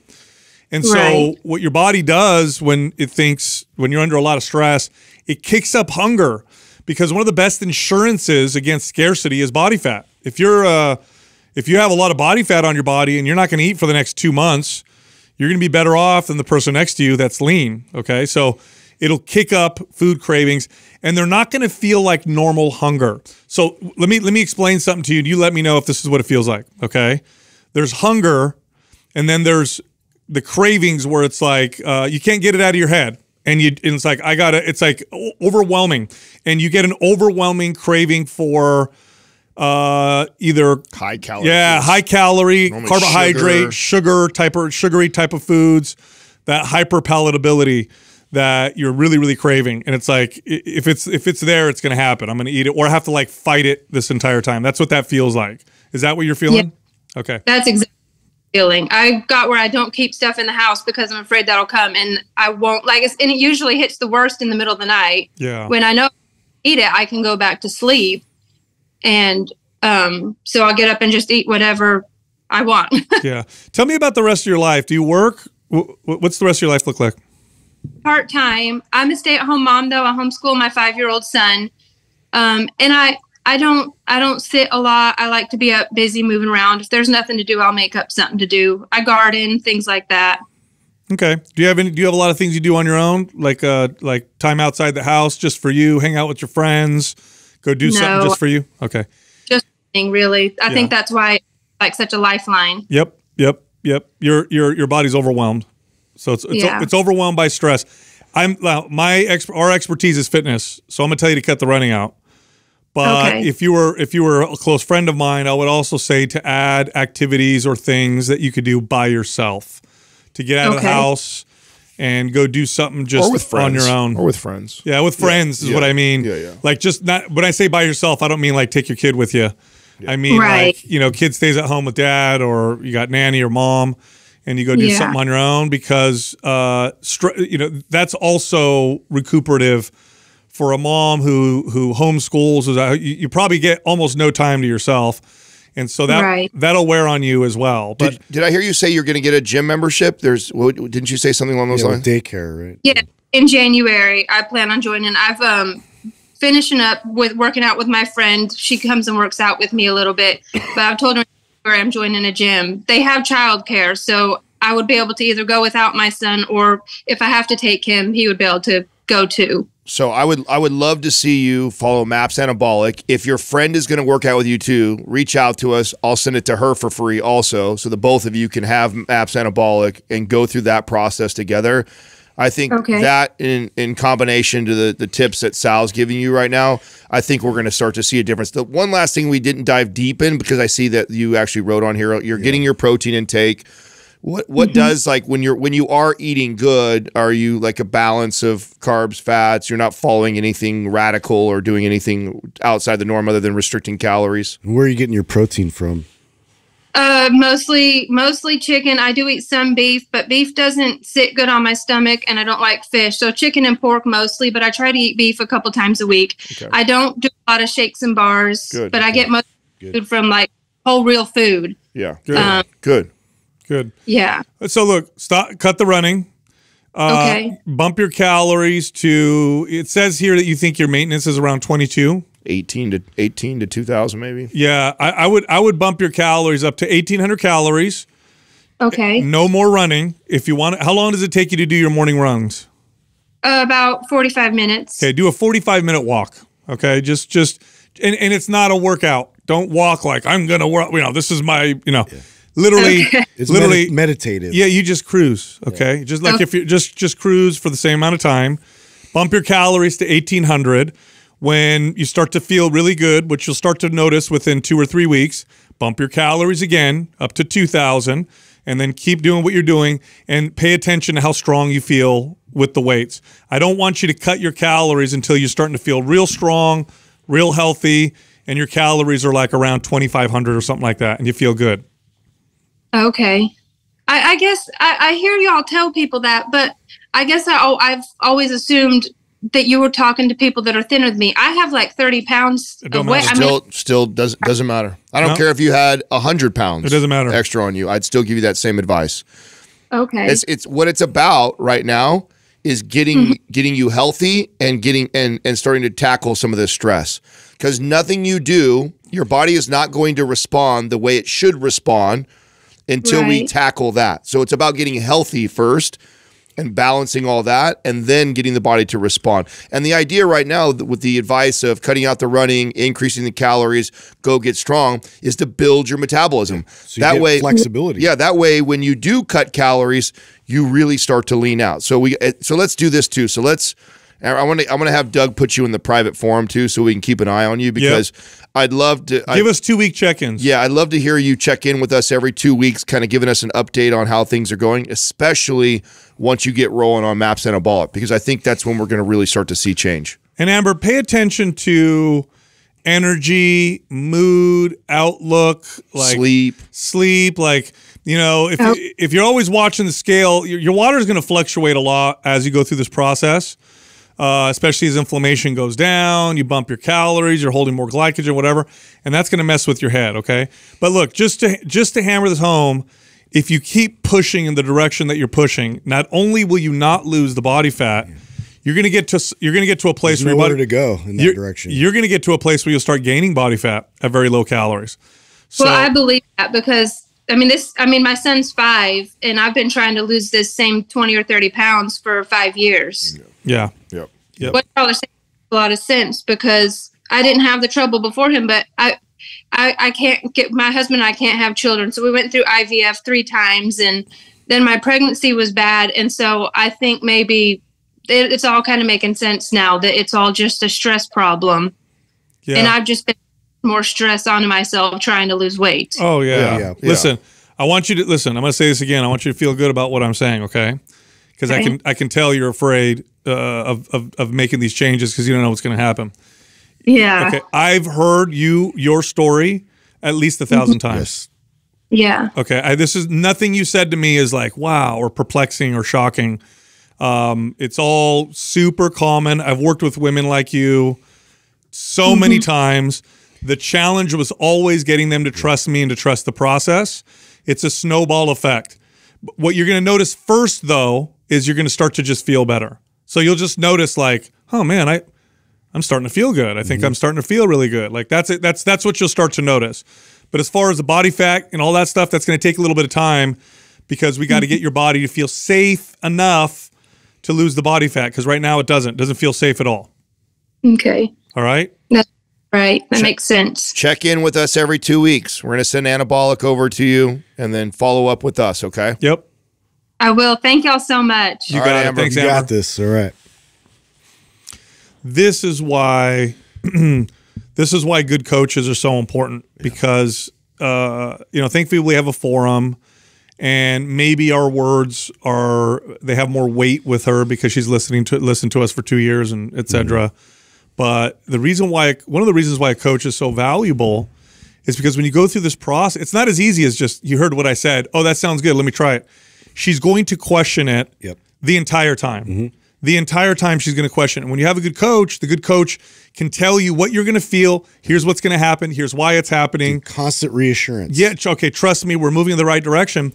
And then when you start to feel and notice the things and you start to go, oh my gosh, this is mm-hmm. really working, then it becomes a lot easier. So, but I feel for her, man. I've, I've had so many clients with the exact same, exact same symptoms, exact same. I wonder how many people are listening just like her who the advice that we're giving to say her is perfect for them, but they think that They're different. they're different. I know. I mean, that's such a crazy. Like, it's so crazy because we have have addressed uh, almost identical uh, question as this, right? Yeah. And and her thought was, oh, because I'm not. I have 30 more pounds. yeah, I have 30 pounds. It's like, let me make this clear. She could have been 150 pounds overweight, and I still would give this advice. Yep. This, this this still would be the advice for someone. So just it's not just because you have way more weight to, to lose in that person. And then the same would go if you maybe only had about 15 pounds or 20 pounds. If you're if this is your symptoms and this is what you how you've been treating your body and this is the level of stress you have going on, this this advice is the same. And if you were a man and you had all the, the advice would stay the same Yep, here. So yep. the only the only the only the only difference would have been, and she she you know the answer was there because she says every time I try to lose weight in this way, this is what happens to me. The only other thing I would have asked if this is the first time that this happened to her was I would have asked if she's had any nutrient deficiency tests, if she's had any changes to her hormones, Hormones, yeah. or because those could also cause some of this stuff. But the fact that she's repeatedly done this and had these this exact experience, and then you know ask her questions about her Just lifestyle. plateaued and stalled for Yeah, five listen, years. you're you're a stay at home mom. She's like, I live in the you know out in the country and I homeschool. Okay, so you know what that means. Everything she does is for her family and probably does almost nothing for her. Mm-hmm. And she's always on her feet because she's got a bunch of shit to do. So that was like, it it was really easy to cut out the running. The- the- that's that one stress I could easily just cut out and then get her body in a place to where it can start responding. Our next caller, Sam from New York. Sam, what's going on? How can we help you? How you doing? Good, we're good. What's Um, happening? Thanks for having me on. You got it. So, um, I'm calling because I'm uh, apparently what you call a hard gainer, and I'm 58. Um, I'm in the middle of my second round of uh, anabolic, and uh, I keep trying to eat more and more, but I don't seem to be putting on any weight. Uh, I actually did lose a few pounds initially, which I assume was some fat. Um, I don't know if I should be lifting more, or if I need to keep increasing my food intake, or if you have any suggestions. Yeah, yeah. Okay. So I'm reading your email here, Sam, and it says uh, that you're stronger. Yes. How, how much stronger? Tell me about your like the differences in your lifts. Uh, well, b- before doing anabolic, I had never done deadlifting, so I started out pretty low, but I'd say I'm doing 70 more pounds than when I started. Okay. That's incredible. All right. What about your like, your bench press, all that stuff? Bench press, I've increased working out with it probably 50 pounds, Wow. and Okay. the same with my squats. Wow. Yeah, you're you're doing pretty good right now. Yeah, you're doing all right. Uh, And then it says here you work a job in construction. What kind of work do you do?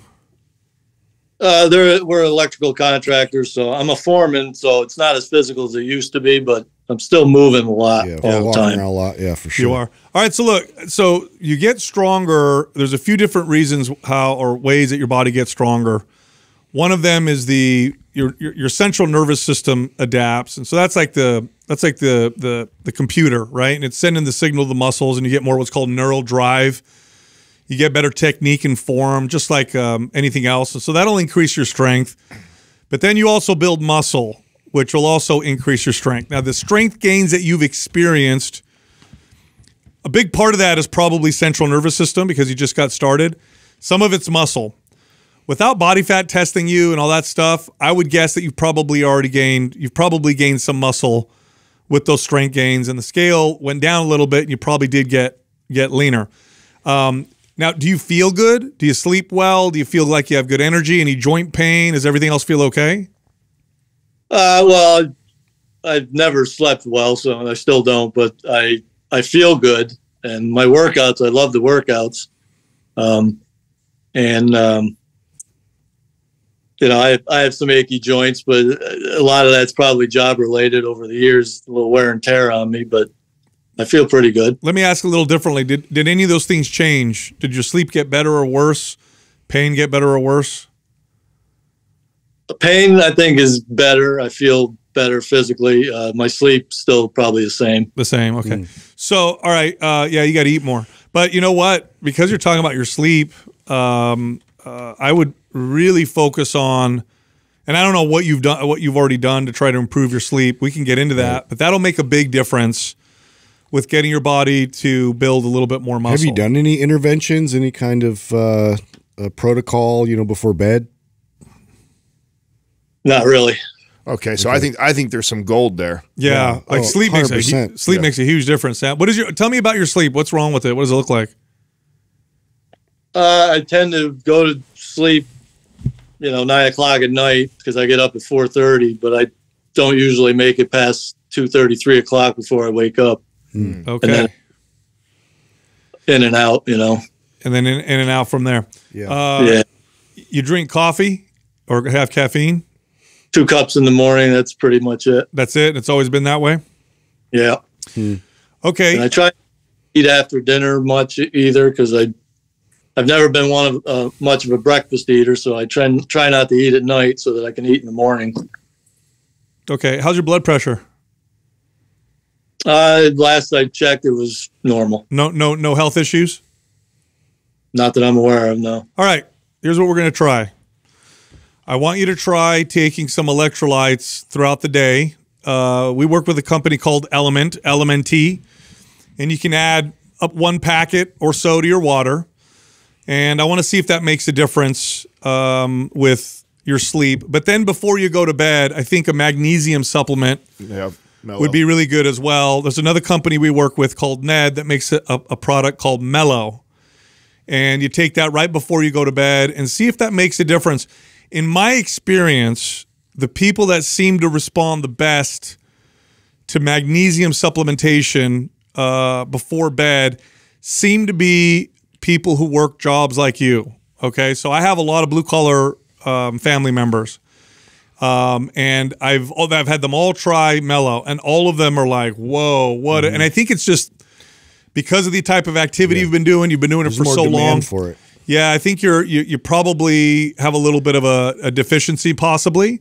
It's quite common. It won't hurt you to try, but you'll notice a difference within one or two nights uh, if that's the deal. Now, besides that, you got to eat more. I hate to tell you, Yep. and you, you know you got one of those we, you, you got one of those fast metabolisms. Um, Yeah. So, have you tried adding shakes to your day? Because that would be the easiest way to add calories. I did. I'm doing a thousand calorie shake smoothie in the morning because I was never a breakfast eater. Um, and I'm, I'm pushing to get 3,000 calories a day right now, but I usually fall a little short. Yeah. Probably 800. I mean, he's an example of somebody who I would let hyper palatable foods Oh, in his yeah. diet just so he can get some calories up. There, one last thing too that I want to ask about: uh, Have you had your hormones checked uh, at all anytime recent?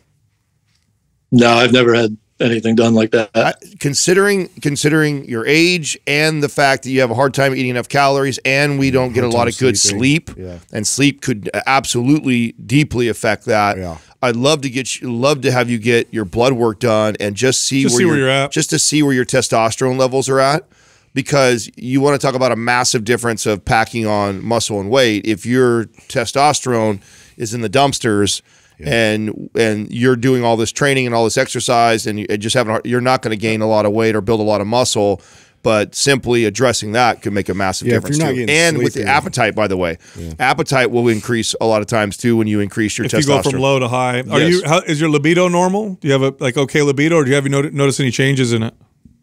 no, it seems the same. Okay.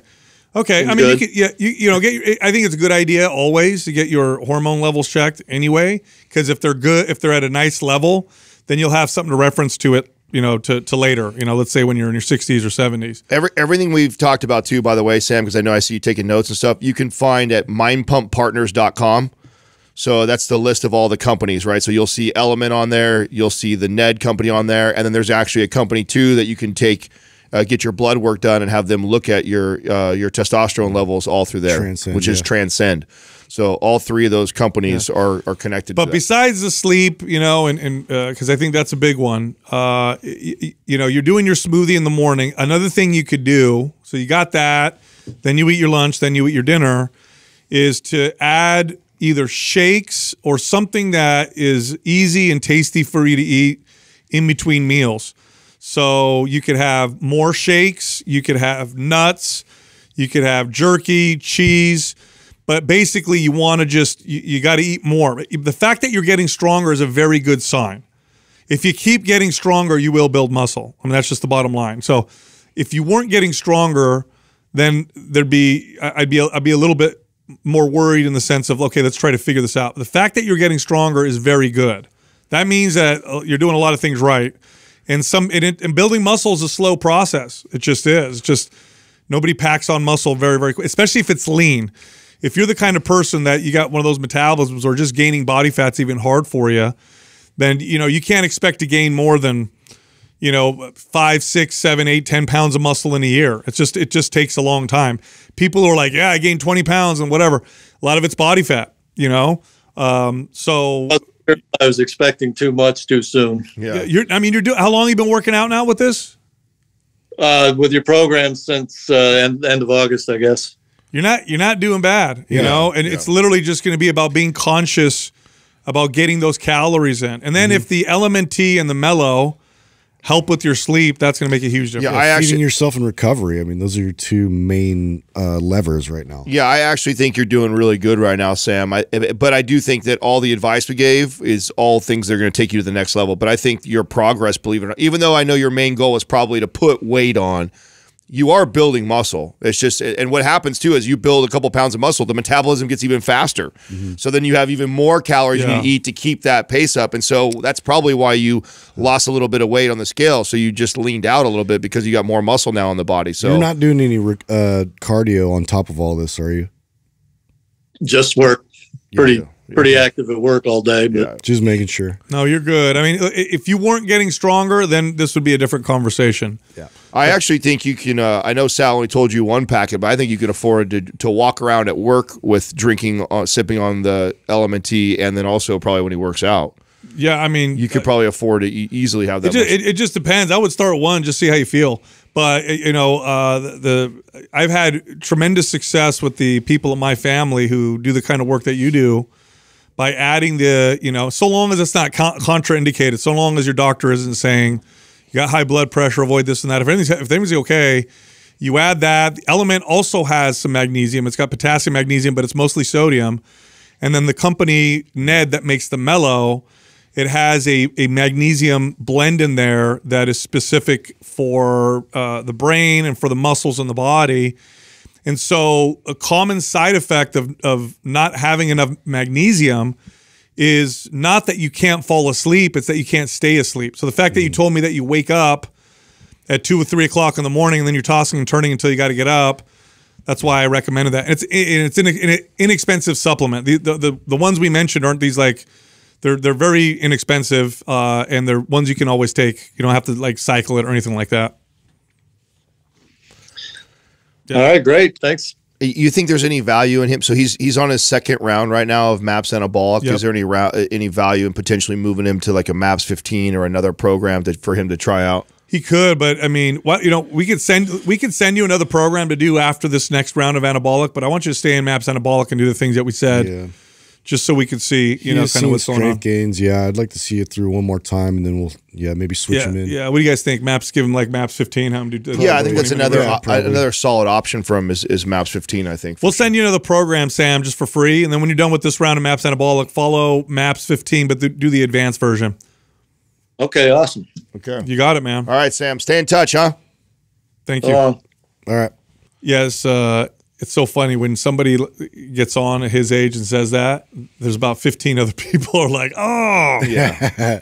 you know, I, I, I'm I wish I c- had a tough time." I'm anyway. glad we talked long enough to Yeah. figure that out. That he's actually just really getting started. Yeah, he's doing fine. So he's just doing really good. And uh, you know, here's a funny. I'm glad he talked about the sleep though, because that's that's an issue. Well, there's that's out. where I said there's gold there, right? There's if, if he's always been a poor sleeper and he's never tried to figure that piece out, him figuring that out could be massive. I have a feeling too, if he actually goes and does his blood work and gets his hormones, that he's gonna have lower testosterone too. Maybe. 58 years old, low calorie, also sleep will also negatively affect. Yeah, and poor sleep.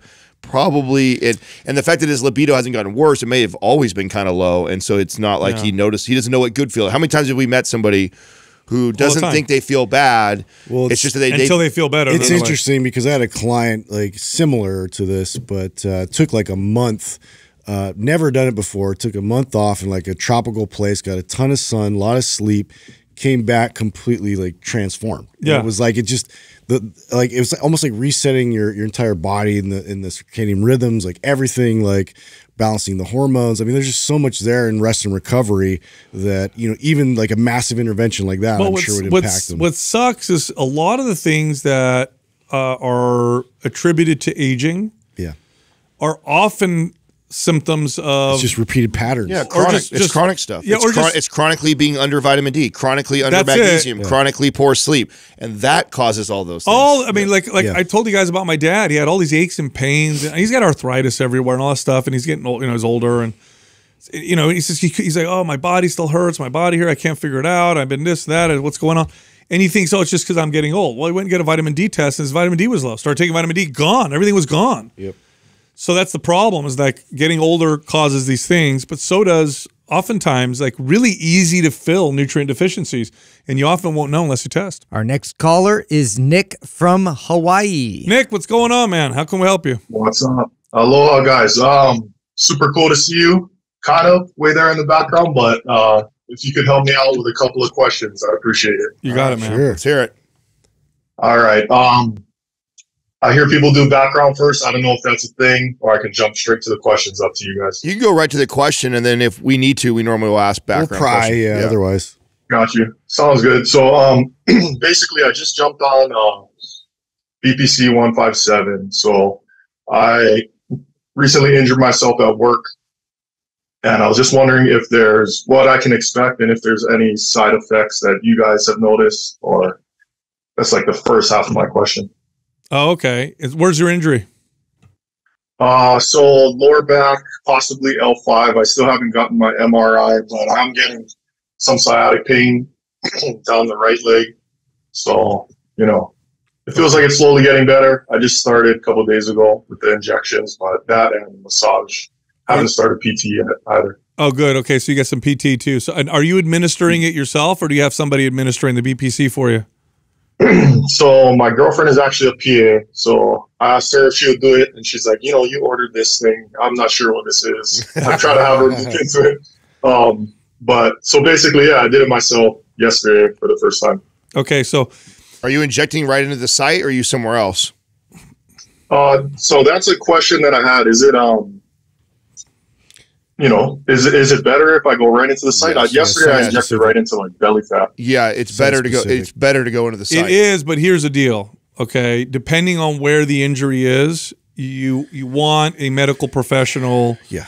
because you said you're L4, L5, talking about the spine. I would not try to get a long needle to hit no, the no. area All there right. because yeah, you could end up you could end up with something pretty bad, yeah, you right? don't to Yeah, do that. not trying to No, do that. just No, shooting no, into no. his low back would be better off than shooting. I mean, sub-Q, maybe, but it's more systemic than that. So systemically, you'll get an effect. Meaning, if you do it, you know, sub Q, you'll get kind of the systemic anti-inflammatory kind of accelerated, uh, you know, healing type of an effect. If there's a slipped or herniated disc, it may help it heal faster, but combining it with the physical therapy is your best bet because there could be something else that's going on. Now, everything's okay and it's just a muscle strain, muscle pull, um, then then you're going to be good. But I see you shaking your head. You're say you you think no, no way. I mean, that that that is my hope, but the fact that I have like the sciatic nerve shooting down my leg, like that pain. Um, originally, I had maybe my my the first visit to the urgent care when I went, I actually had some loss of strength in like Oh. my uh, dorsiflexion in my foot. So that's kind of what really concerned the doctor the first time when he put me out. Uh, that since has come back. I can feel that it's a little weaker than normal, but I still have that shooting sciatic pain. So that's what that's basically what's got me worried. Oh wow! Did you how'd you heard it? Yeah, uh, I was opening this gate at work where we park our patrol cars, and this thing has been broken for a while. It's a giant gate. it's probably a few hundred pounds, and it's kind of funny because I deadlift all the time as a trainer, and basically I lifted and twisted weird, like something like you guys say, right? Everybody kind of reaches in the back seat of their car, and that's how they injure their back, and that's basically what happened. So the the thing that concerns me is the loss of uh, connection, the weakness. So Yeah. it could be uh, herniated disc that or something something like that that's inflamed and pressing on the nerve that uh, connects to those things. And oftentimes, if the inflammation goes down, things get better. Then the the the function comes back. So there's not much I can say until you get your MRI back and see what's going on. Because if there is something pressing on that nerve, um, you, you definitely want to get that addressed. Because then there's not much else you can do than try to work with what you got. Um, and if that, get, of course, you know, look, you're you're a trainer. You said. Yeah, yeah. Yeah. Trainer and cop out here in Hawaii. So I got to do, you know, physical stuff all the time. Can't be Yeah, yeah, yeah. Did you actually injury. feel a pop? Like, was it like? Because I, I I know for me. Okay, yeah. So there's yeah, there's probably something there. It'd be interesting to see your MRI. Definitely, yeah, definitely get the MRI, see what that says. Work with a movement specialist, not just the surgeon. Yeah, I'm going to put you in the forum because uh, I think one of the greatest movement specialists that we have, two of the greatest movement specialists between Dr. Brink and Jordan Shallow are both in our forum. And so Awesome. unt- until we get a true diagnosis of what's going on, we're all going to be sitting here speculating quite Yeah, a bit. You know what I'm saying? And I think our advice greatly depends on what the diagnosis is before I tell you, oh, try some of these rehab movements or right. oh, we take have the- rehab moves, but we don't know if it's a very good idea. yeah so point. i think i think right now and and by and back to your bpc 157 as far as uh, what to expect or is there any side effects there's no negative side effects you're going to feel from bp 1, uh, 157 They'll, and the only thing you'll may notice is recovery faster which may be really difficult for you to measure and tell because this is the first time you've had this kind of major injury so like I, I've re-injured certain parts of my body, used it, and I can tell how magical it is because something that would normally take me, say, two to four weeks to recover, I recover in seven to ten days. Like so, there's this. So it's like that, right? It makes that big of a difference as far as the recovery process, but it's that's easy for me to measure because it's an injury that I've seen before in my body, and then I, something that's brand new. It might be hard for you to tell how effective it is, but it's it's probably helping. The only the only issue I would have with the BPC is that if you got it from a research chemical lab, uh, there's no telling the quality or the you know what's in there. Did you go through Transcend or no?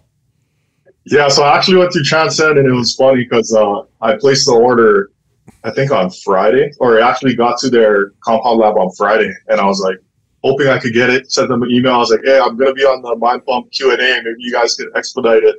and they actually did overnight it. Yeah. Smart guy. All right. Called you guys real quick. So Shout out to Transcend, making it happen. Yeah. Listen, Nick, Nick, you get Oh, in the yeah. forum, tag uh, Dr. Justin Brink, and Yeah. when you get your MRI, you could probably even show him Mm-hmm. what the MRI looks like, and then you'll have a good idea of you know kind of where to go from there. Right. awesome, awesome. Could I throw in my little second half question that everybody gets? Yeah, yeah, yeah, yeah, do do, it. it. All right. So, um, basically, my schedule is pretty busy. I'm hoping uh, when I get back sooner than later. Um, I'm just trying to figure out what's the best way for me to kind of maintain what I've built. Well, actually, get back to where I was and maintain, and also go on a little cut. Um, right now, I'm like sitting at about 210. I'm 6'2. Um, I feel a little soft since I haven't been lifting for the last couple weeks.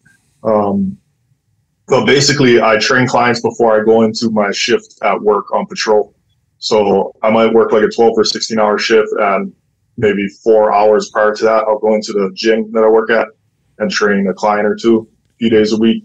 And uh, I feel like I miss out on a lot of workouts myself because I'm in there training other people. I try to do stuff in between um, or before I get to work, but I'm just wondering what's like the best program to run in my situation. So I ha- I have two thoughts around this, and I want to hear what the guys if they agree with me or not on this. One, from because of your schedule, everything got going on, uh, Maps 15 I think would be uh, a great resource for you. But I also think because of the injury that you've had and the type of work that you do, Maps Performance would really benefit you because of all just bulletproofing your body and the rotational stuff. So if you were a client, I'd actually try and kind of blend the two. I'd actually have you following more of a, a fifth, Maps 15 type of a protocol because of the amount of work and stuff that you have and time.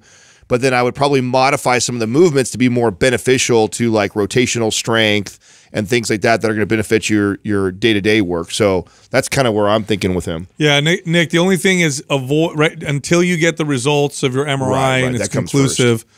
Avoid anything that requires that kind of stability. So you would do a lot of seated exercises, upper body exercises, and then for your lower body, you could do leg curls, leg extensions, uh, but no leg press, no squat, no lunges, uh, no standing exercise, nothing that requires any stability from your lumbar. Um, and so, and that'll be the best thing you could do to. Well, to that's. I mean, muscle my advice is assuming you're fully recovered and you're back Yeah. to training. And you're. I'm answering that Got question that. right now. Right now, everything should be centered around rehab.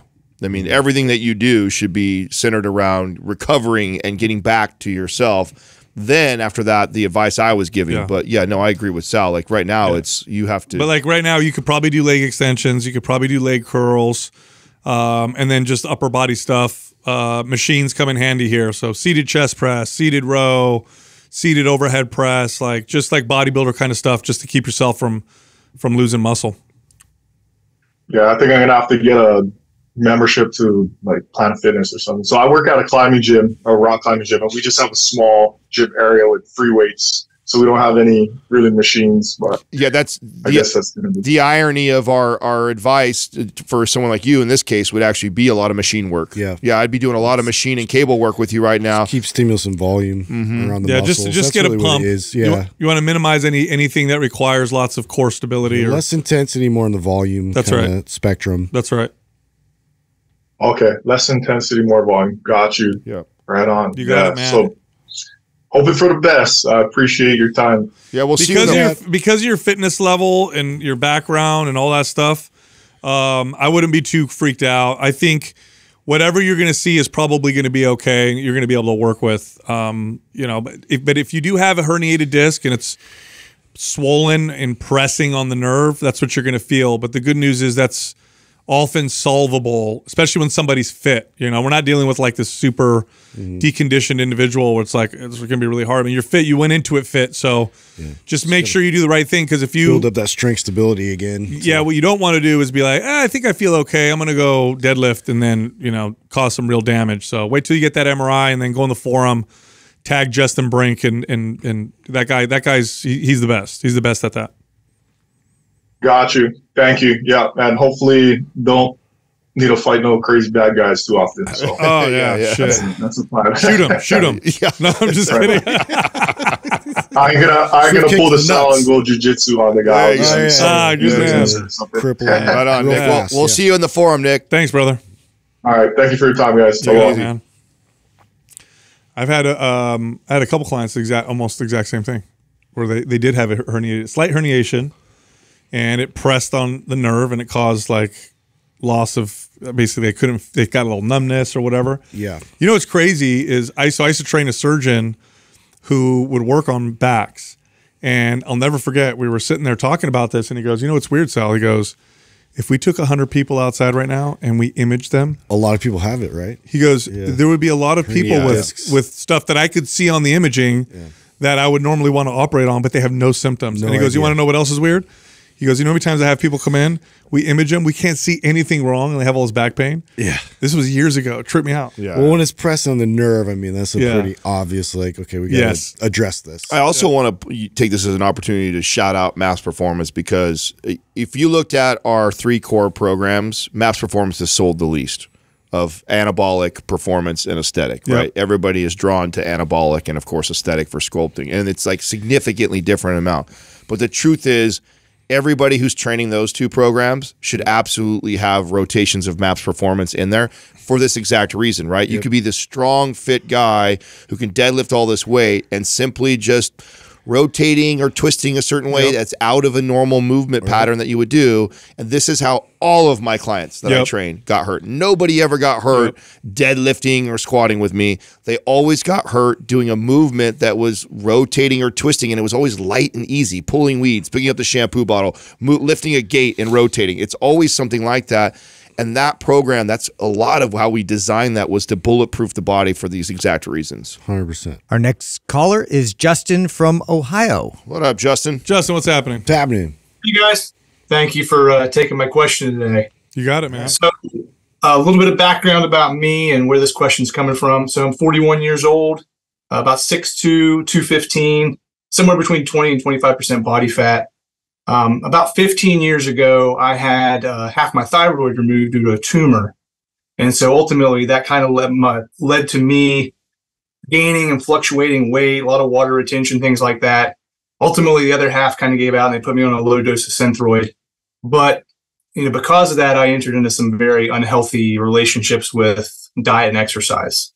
So the past, you know, 15 years of my life, I've been, you know, hopping from program to program, trying different crash diets, things like that. Kind of came to a crash this summer where I was, you know, doing a pretty intense uh, training regimen, also running and hitting the Peloton sometimes on the same day, all while eating somewhere between 1800 and 2200 calories. And when I found you guys, I recognized some of the damages I was doing to my body. So uh, this summer, uh, really at the end of the summer, I started, you know, consuming a lot of the content you guys are putting out, and cut all my training. Uh, got anabolic, just doing two days a week on that. Um, started a reverse diet, so I've ramped up slowly to where I'm about 2,700 calories now. Um, put on about 15 pounds over that time, but again, I'm trying not to focus on the numbers, trying not to look at the scale. And uh, ultimately, that leads me to my question of, you know, do you guys have any tips or tricks to deal with the psychological aspects of a reverse diet? And how do I know when to stop? Right? Because I mean, this is really just messing with my brain. So that's all. I, I mean, it's a this is a great question, and I think super common when somebody is going through a reverse diet, especially for the first time. When I train a client like you, uh, especially when you've you've actually gained like you got pretty good momentum right now. It sounds like you've increased your calories quite a bit. You've been able to reduce a ton of ac- activity and movement. So just think about first of all, just think about that for a minute. Like you've radically reduced the amount of calorie burn you've been doing uh, while also increasing calories and the scale. And then I'm assuming if you're lifting weights too, you know, you've if some of that 15 pounds probably a good amount of that's definitely some muscle. Do you feel a lot stronger? I am getting stronger. I definitely feel different than what I did this summer. Um, and you know, I'm, I'm actually getting ready to finish anabolic, and so I was thinking about just doing it again uh, to kind of compare some of those numbers. Not a bad idea. Um, And you're doing the two day a week version. I did, yeah. What do you what do you, what other activity are you doing? Uh, just daily dog walk. That's it. I tried. I cut all cardio, other than just like walk in the morning, walk in the evening. Oh, he can go to three days a week. You could do three. Yeah, do Yeah. the three day a week version of maps. go Anabolic. three day a week and then where i was heading with that conversation was first of all that that that's how i would start it is is making you realize what how far you've already come like you're doing a really good job right now and then i would say to a client like you say hey listen if i can show you how good you're doing already just by simply cutting your calories for two weeks to watch what will happen. I mean you can do that where you'll interrupt a reverse diet or interrupt a bulk with a short period of cutting just so you can get that psychological relief of like oh wow okay i see i see what's going on here. I could in it just if you're at 2700 i could take you down to 2000 to 22 for two weeks and you'll watch yourself lean out. You will you uh, that, and to, to, just to show and prove to my client we're, we're doing the right thing. Can you see? Like look at boom we'll just cut the calories watch how the body responds just in two weeks not changing anything else but the, the diet part. And then i would put you right back to the reverse again and say come on let's Yeah. keep going. Let's Exactly. keep it let's keep going down this path. Let's get this sucker up to 3400 3500 calories and just imagine what it's going to look like when we cut down to 2500 calories. And so but a lot of times that will really help my clients psychologically or just me constantly reminding them like man you are like think about that you were doing peloton you were running you were doing all this movement you were eating less calories now you're eating more eating more calories moving less and building muscle building strength and you've only gone up on the scale 15 pounds like we're we're doing the right I, thing I, I would add a third day, so I would follow the maps. So maps anabolic gives you that you know A B workout. So you just now you go A B. So it'd be Monday, Wednesday, Friday instead of like whatever you're doing now. So add that extra day. Go ahead and cut your calories for. Go ahead and do it for three weeks, four weeks. That's fine. Nothing wrong with that. Just see how you feel, and then go back on the reverse diet. All right. So just don't get caught because what happens sometimes is Yes. you, you you start leaning out, then you get real excited, you want to keep going that direction, and two to three weeks turns into six to eight weeks, and then before you know it, then you hit a hard plateau, Yeah. Frustrated again. Now, Just- here's the key to overcoming the psychological aspect uh, of of what you're going of what you're going through. The key is always going to be to change the patterns of thinking. So, anytime you find yourself going in that direction, catch yourself and think of something else, and then don't weigh yourself. Literally, don't weigh yourself. Don't pay attention to that, and place your focus on the strength that you feel in the gym. It's a much better place to put your your focus especially when you're on a reverse diet, because you're going to get stronger and that's going to encourage you that you're moving in the right direction. Every time you weigh yourself, it's going to be that reminder of, oh, am I doing the right thing? What's going on or whatever. But if you just focus on your strength, um, that's going to be great because if you're doing it right, you'll be getting stronger. But there'd be nothing wrong with a cut for three or four weeks. Just don't get Adam hit the nail on the head. Is uh, is you, you may you might see some weight loss and be like, oh, here we go. Let's add some cardio. Let's add some, let's cut more calories. So, and you don't want to end up at 1500 calories at your size, you know, trying to get leaner because then you know where that ends up. It's it's not a really sustainable, good sustainable place. Yeah. No, I mean it's uh I really appreciate the insight and kind of help them talk through that because again I uh like you said Adam it's uh you, you get that taste of it right oh man I'm starting to lean out I can I can make it by summer so yeah I hear where you're going with it so I appreciate it You're hitting your protein targets, right? Yeah oh yeah yeah Good. yeah really been focused on sleep you know I'm averaging between seven and eight and a half hours a night so Oh, good. just really trying to focus on recovery Excellent. it, And- sou- it sounds like you're doing really good, bro. And your and your Yeah. and your uh your your your your T your T three T four everything's balanced with your, your how long have you been thyroid on uh, Synthroid? about 13 years Oh, you're good. So the the newest thing was they put me on uh, calcitriol for um, the hypoparathyroidism as well. So those the two parathyroids got removed as well. okay. Um, so the active vitamin D3 is a little new to me. That's about it. Been going on about a year. So still playing around with some of that stuff. how do you do with carbohydrates? Um, I feel like I do pretty well. Okay. Um, Okay. Good. yeah. What about gluten?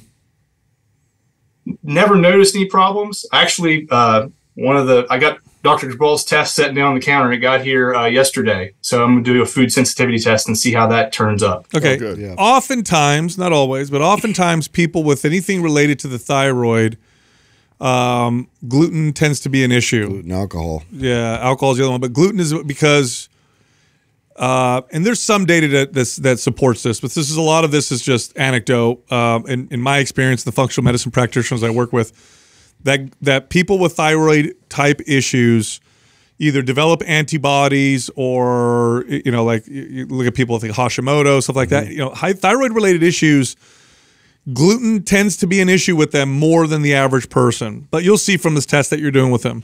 You could also just experiment by cutting gluten out and eating carbs from other sources and see how you feel after a few weeks. But that'd be the only thing I'd say. The other, other thing I'd say look at. Okay.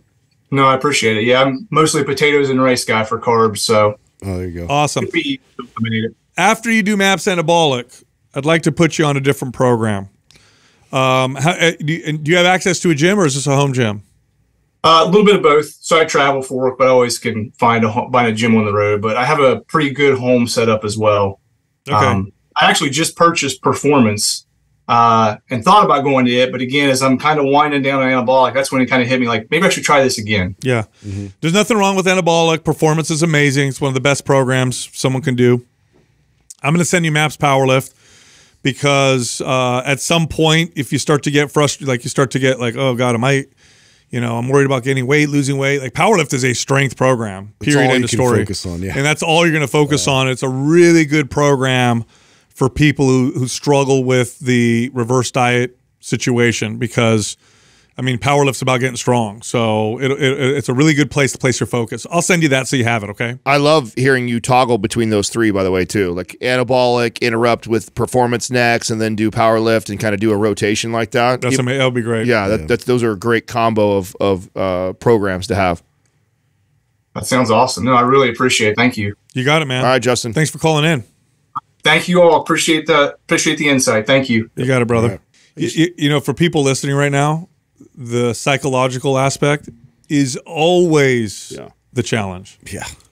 Nothing else is a challenge. It's always the mental games, always, always, always. It's so tough. It's so challenging to deal with it. And the best approach that I've seen that work that I, I'll do for myself, uh, I've seen with clients, is the place because I could easily, you know, it's easy to say, just don't think about that. Like, okay, what do I think about? Where do I go? It's like place your focus on something else. Yeah. And if your if your fear is gaining body fat, well, put your focus on getting strong. That'll help you. That'll help encourage you to eat enough nutrients because getting you can't eat too little and get strong. It just doesn't work. That Uh, crazy part about this, I think this is the second person today that we talked to that actually is doing really well. Yeah, you're doing good. I mean, if put it in perspective, like okay, he if you put 15 pounds on the scale and you've been training and you eat relatively good, but you, you we could probably guess for sure there's been some body fat, there's been some muscle, and there's definitely some water. So 15 pounds, while dramatically reducing the amount of cardio activity, only strength training Twice a two, week. two days, That's two days a week, increasing your calories by a significant amount.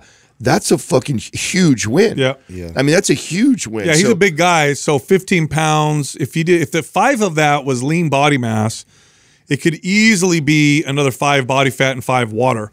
Um, so that's not bad at all when you're reverse dieting from a position where he came from, where he had dealt with And- being overweight and And the reason why I bring that point up is if this was a client of mine, many times I'd be encouraging just work, keep going. Yeah. Keep going. We're going right. String it out further. Just let's keep going on this on this path. We're heading the right direction. But I also recognize because I've had this so many times where someone that's they're really struggling with the psychological part, Totally. Mm-hmm. Mm-hmm. and so I'll interrupt it sometimes just to show them like, okay, let me show you what we've accomplished already.